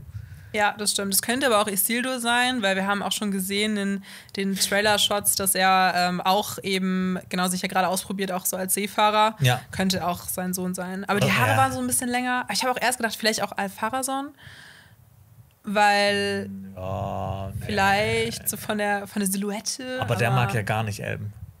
Ja, ja, Deshalb genau. ja. Äh, Aber dann hätte er sie ja wahrscheinlich nicht. Ähm, du meinst, er hätte sie dann nicht äh, ihm geholfen. Aber das sehen wir ja auch noch nicht. wissen wir ja noch nicht, ja, Vielleicht schubst er sie ja, Ja. wieder zurück ins Meer. Ja. Und Nein, aber. ich habe das Gefühl, da wurde auch zum ersten Mal, äh, zum ersten Mal, äh, zum ersten Mal so ein äh, Theme von Numenor eingespielt, Ja. was ich schon mal ziemlich nice fand. Fand ich auch. Ja, genau. Das unterscheidet sich auch sehr von den anderen Themes. Ja, Das mochte ich dann auch. so ein bisschen, das wirkte so ein bisschen wie wenn man in einem Film in eine Wüstenregion geht und dann kommt so eine, ich sag mal, ethnische Musik. Das ist so orientalisch. ja, so ein bisschen orientalischer, ja, ja. sowas. Ja, obwohl man ja wahrscheinlich Orient, es gibt ja auch diesen Orientalism-Theorie, eigentlich sollte man das ja nicht mehr sagen. Ja, aber stimmt. naja, gehen wir nicht da. Fernöstlichkeit. Das Fern- ist, ja, das ist auch immer so. Ja, ja, genau. ja. Auf jeden Fall, man denkt an Sand und Tücher. Sand und Tücher. Ja. Oder an, äh, hast du mal Hidalgo gesehen? Nee, was ist das? Das ist ein Film mit Vigo Mit Mortensen. Nee, da geht es um ein Pferderennen in boah, irgendwie irgendwo im arabischen Bereich. Ähm, so in den 20ern Oh, okay. Jahren oder sowas. Und, äh, Setting. und äh, äh, Viggo Mortensen spielt da so jemand, der da mitreitet. Okay. Und so die Musik passt dazu. Und ich meine, ne? Dann Mortensen die, passt jetzt die ja. Verbindung Viggo Mortensen, Aragorn. Aragorn ist ein äh, Nachfahre von den Numenorern. Vielleicht hat ja jemand aus diesem Film dann auch diesen Score mit, zusammen mit Ja. Beer McCreevy gemacht. Wer weiß. La- Lass, lass alles an dieser Serie so komplett tot interpretieren. Bitte. Ja. Aber wir sind ja schon dabei. Du als Runenexperte, du hast jetzt hier eine Tradition angefangen. Gif wie Gandalf. genau. Wie Gabba Gandalf. Also, was ist denn jetzt, das ist jetzt der Schluss, ne? Das heißt, wir haben jetzt, was ist denn deine Meinung overall von der zweiten Episode, Jonas? Ja, also die zweite Folge hat mich schon viel mehr abgeholt als die erste Folge. Ich fand, bei der ersten Folge haben mich halt, es gab so viele Ungereimtheiten, so Ungenauigkeiten und so, so Sachen, die mich einfach gestört haben, was jetzt so den, die Lore angeht. Ähm, aber ähm, ich fand hier alles, was mit den Zwergen zu tun hatte, die Zwergenkultur, alles, was da, da gezeigt wurde, die Chemie zwischen Elrond und Durin, fand ich gut. Es gab auch nicht mehr so viel Hobbit-Anteil, das war mehr äh, dieser Meteormann, mhm. was ich äh, besser fand. Und es hat auch so ein bisschen mehr Horror und Spannung gehabt, gerade ja. so in dem äh, Part, wo mit, mit Bronwyn und mit mhm. Theo, wo die gegen den Ork kämpfen. Ähm, und ähm, jetzt am Ende kommt jetzt noch Numenor dazu, deshalb. Ähm, ich fand die zweite Folge schon viel besser. Ich muss aber sagen, ich bin es gibt so, so einige Sachen, die mich immer noch so, äh, ne, die ich, die ich nicht so, die ich nicht so toll finde insgesamt. Mhm. Also manchmal auch so, so der allgemeine Look und sowas, das, ja. das Feeling. So, weißt du, so eine Sache, die man schwer beschreiben kann, so einfach so das Gefühl mhm. ist noch nicht so 100% da. Es kommt immer mal wieder bei einzelnen Szenen, bei einzelnen Musikstücken, aber so, wie ich das durchkennt hatte, so wie bei der Herr der Ringe-Trilogie, so ist es halt noch, ist es nicht da. Okay. Deshalb, ja. ähm, ich ähm, fand die zweite Folge besser. Ähm, und ja. Was meinst du? Ja, ich stimme dir dazu. Ich fand die auch auf jeden Fall um einiges besser als die erste. Ähm, ich fand aber auch wieder ein paar Dinge, die mich irgendwie auch wieder gestört haben, dass Zwergen, Zwerginnen keinen Bart haben. Das mit du und seinem Vater hatte ich auch schon mal herausgestellt. Ähm, ich liebe aber, wie du auch schon gesagt hast, Casadum, äh, wie sie das gestaltet haben, visuell. Ich liebe die Charaktere bisher von Durin und Lisa ähm, und sehr liebenswerte Charaktere, was mir auch jetzt so in der ersten Folge ein bisschen gefehlt hat, weil ich glaube, da wurde viel auf so epische Szenen gesetzt mit epischem Soundtrack, ja. epischen Eröffnungsszenen. um dieses Gefühl zu erzeugen. Genau, und ich fand, es war ein bisschen zu viel gewollt und es ja. hat jetzt in der zweiten Folge mehr Platz bekommen, was ich spannend fand. Was auch mehr Platz bekommen hat, waren eben so diese Themen von keine Ahnung, Unsterblichkeit, Wissensdurst von Kehle Brimbor, mhm. ähm, wie verdorben sind Menschen. Also davon hätte ich halt gerne mehr. Mhm. Ähm, und ich bin voll gespannt darauf, auch was mit so Theo und Halbrand und so passieren wird. Ähm, am wenigsten gefällt mir immer noch der Hobbit-Handlungsstrang. Aber ich habe irgendwie, auch dann habe ich darüber nachgedacht, ich habe viel Positives über diese zweite Folge zu sagen. Mhm. Aber ich weiß voll, was du meinst, so mit diesem Gefühl von Herr der Ringe. Und dass man auch das Gefühl hat, hier wird sehr viel Geld, wurde sehr viel Geld rausgeballert, das haben wir ja schon am Anfang gesagt. Mhm. Und das will man auch zeigen, was halt auch cool ist. Aber da gehört halt noch ein bisschen mehr zu. Ja, also ich habe auch manchmal das Gefühl, so, ich sehe noch nicht so wirklich, wo dieses Geld hingeflossen hat. Also das mhm. schon, also es ist schon krass produziert, aber es könnte ein bisschen krasser sein. Also es muss ja quasi so okay. mehrfaches sein von Herr der Ringe, theoretisch, wenn man jetzt so ganz so Milchmädchenrechnung macht. Aber ich finde auch so, ich hätte es gerne, dass so ein bisschen runtergedreht wird mit dem Glasglas krass machen. Also ich mhm. glaube, ich hätte es schöner gefunden, wenn man mehr so diese krassen Dialogszenen hatte. Alleine, dass so die beste Szene aus der Episode fand ich war dieser Dialog zwischen Elrond und Durin, mhm. der einen emotional halt voll abgeholt hat. Ich glaube, wenn das mehr kommt, anstatt halt irgendwie ähm, Animationen von der Region oder so. Ja, deshalb, ja, ist äh, bisher erste und zweite Folge finde ich durchwachsen. Es gibt ja. viele Lichtblicke, einige Schattenblicke mhm. viel, oder viele Schatten. Äh, genau, deshalb ähm, schaut auf jeden Fall äh, gerne jetzt weitere Videos an, noch an. Zum Beispiel das letzte Video von Game 2. Oder schaut unser Special Wer ist Galadriel? Wo wir äh, die komplette Lebensgeschichte von Galadriel nacherzählen. Natürlich äh, ausgeklammert, was jetzt hier passieren wird, weil das ist ja alles relativ neu. Und dann hoffe ich, dass wir uns nächste Woche wieder hier sehen, Xenia. Mhm. Vielen Dank, dass du da warst. Danke, dass ich hier sein durfte. Sehr viel Spaß gemacht. Ja, fand ich auch. Und dann, äh, bis dann. Bis Ciao. dann. Tschüss.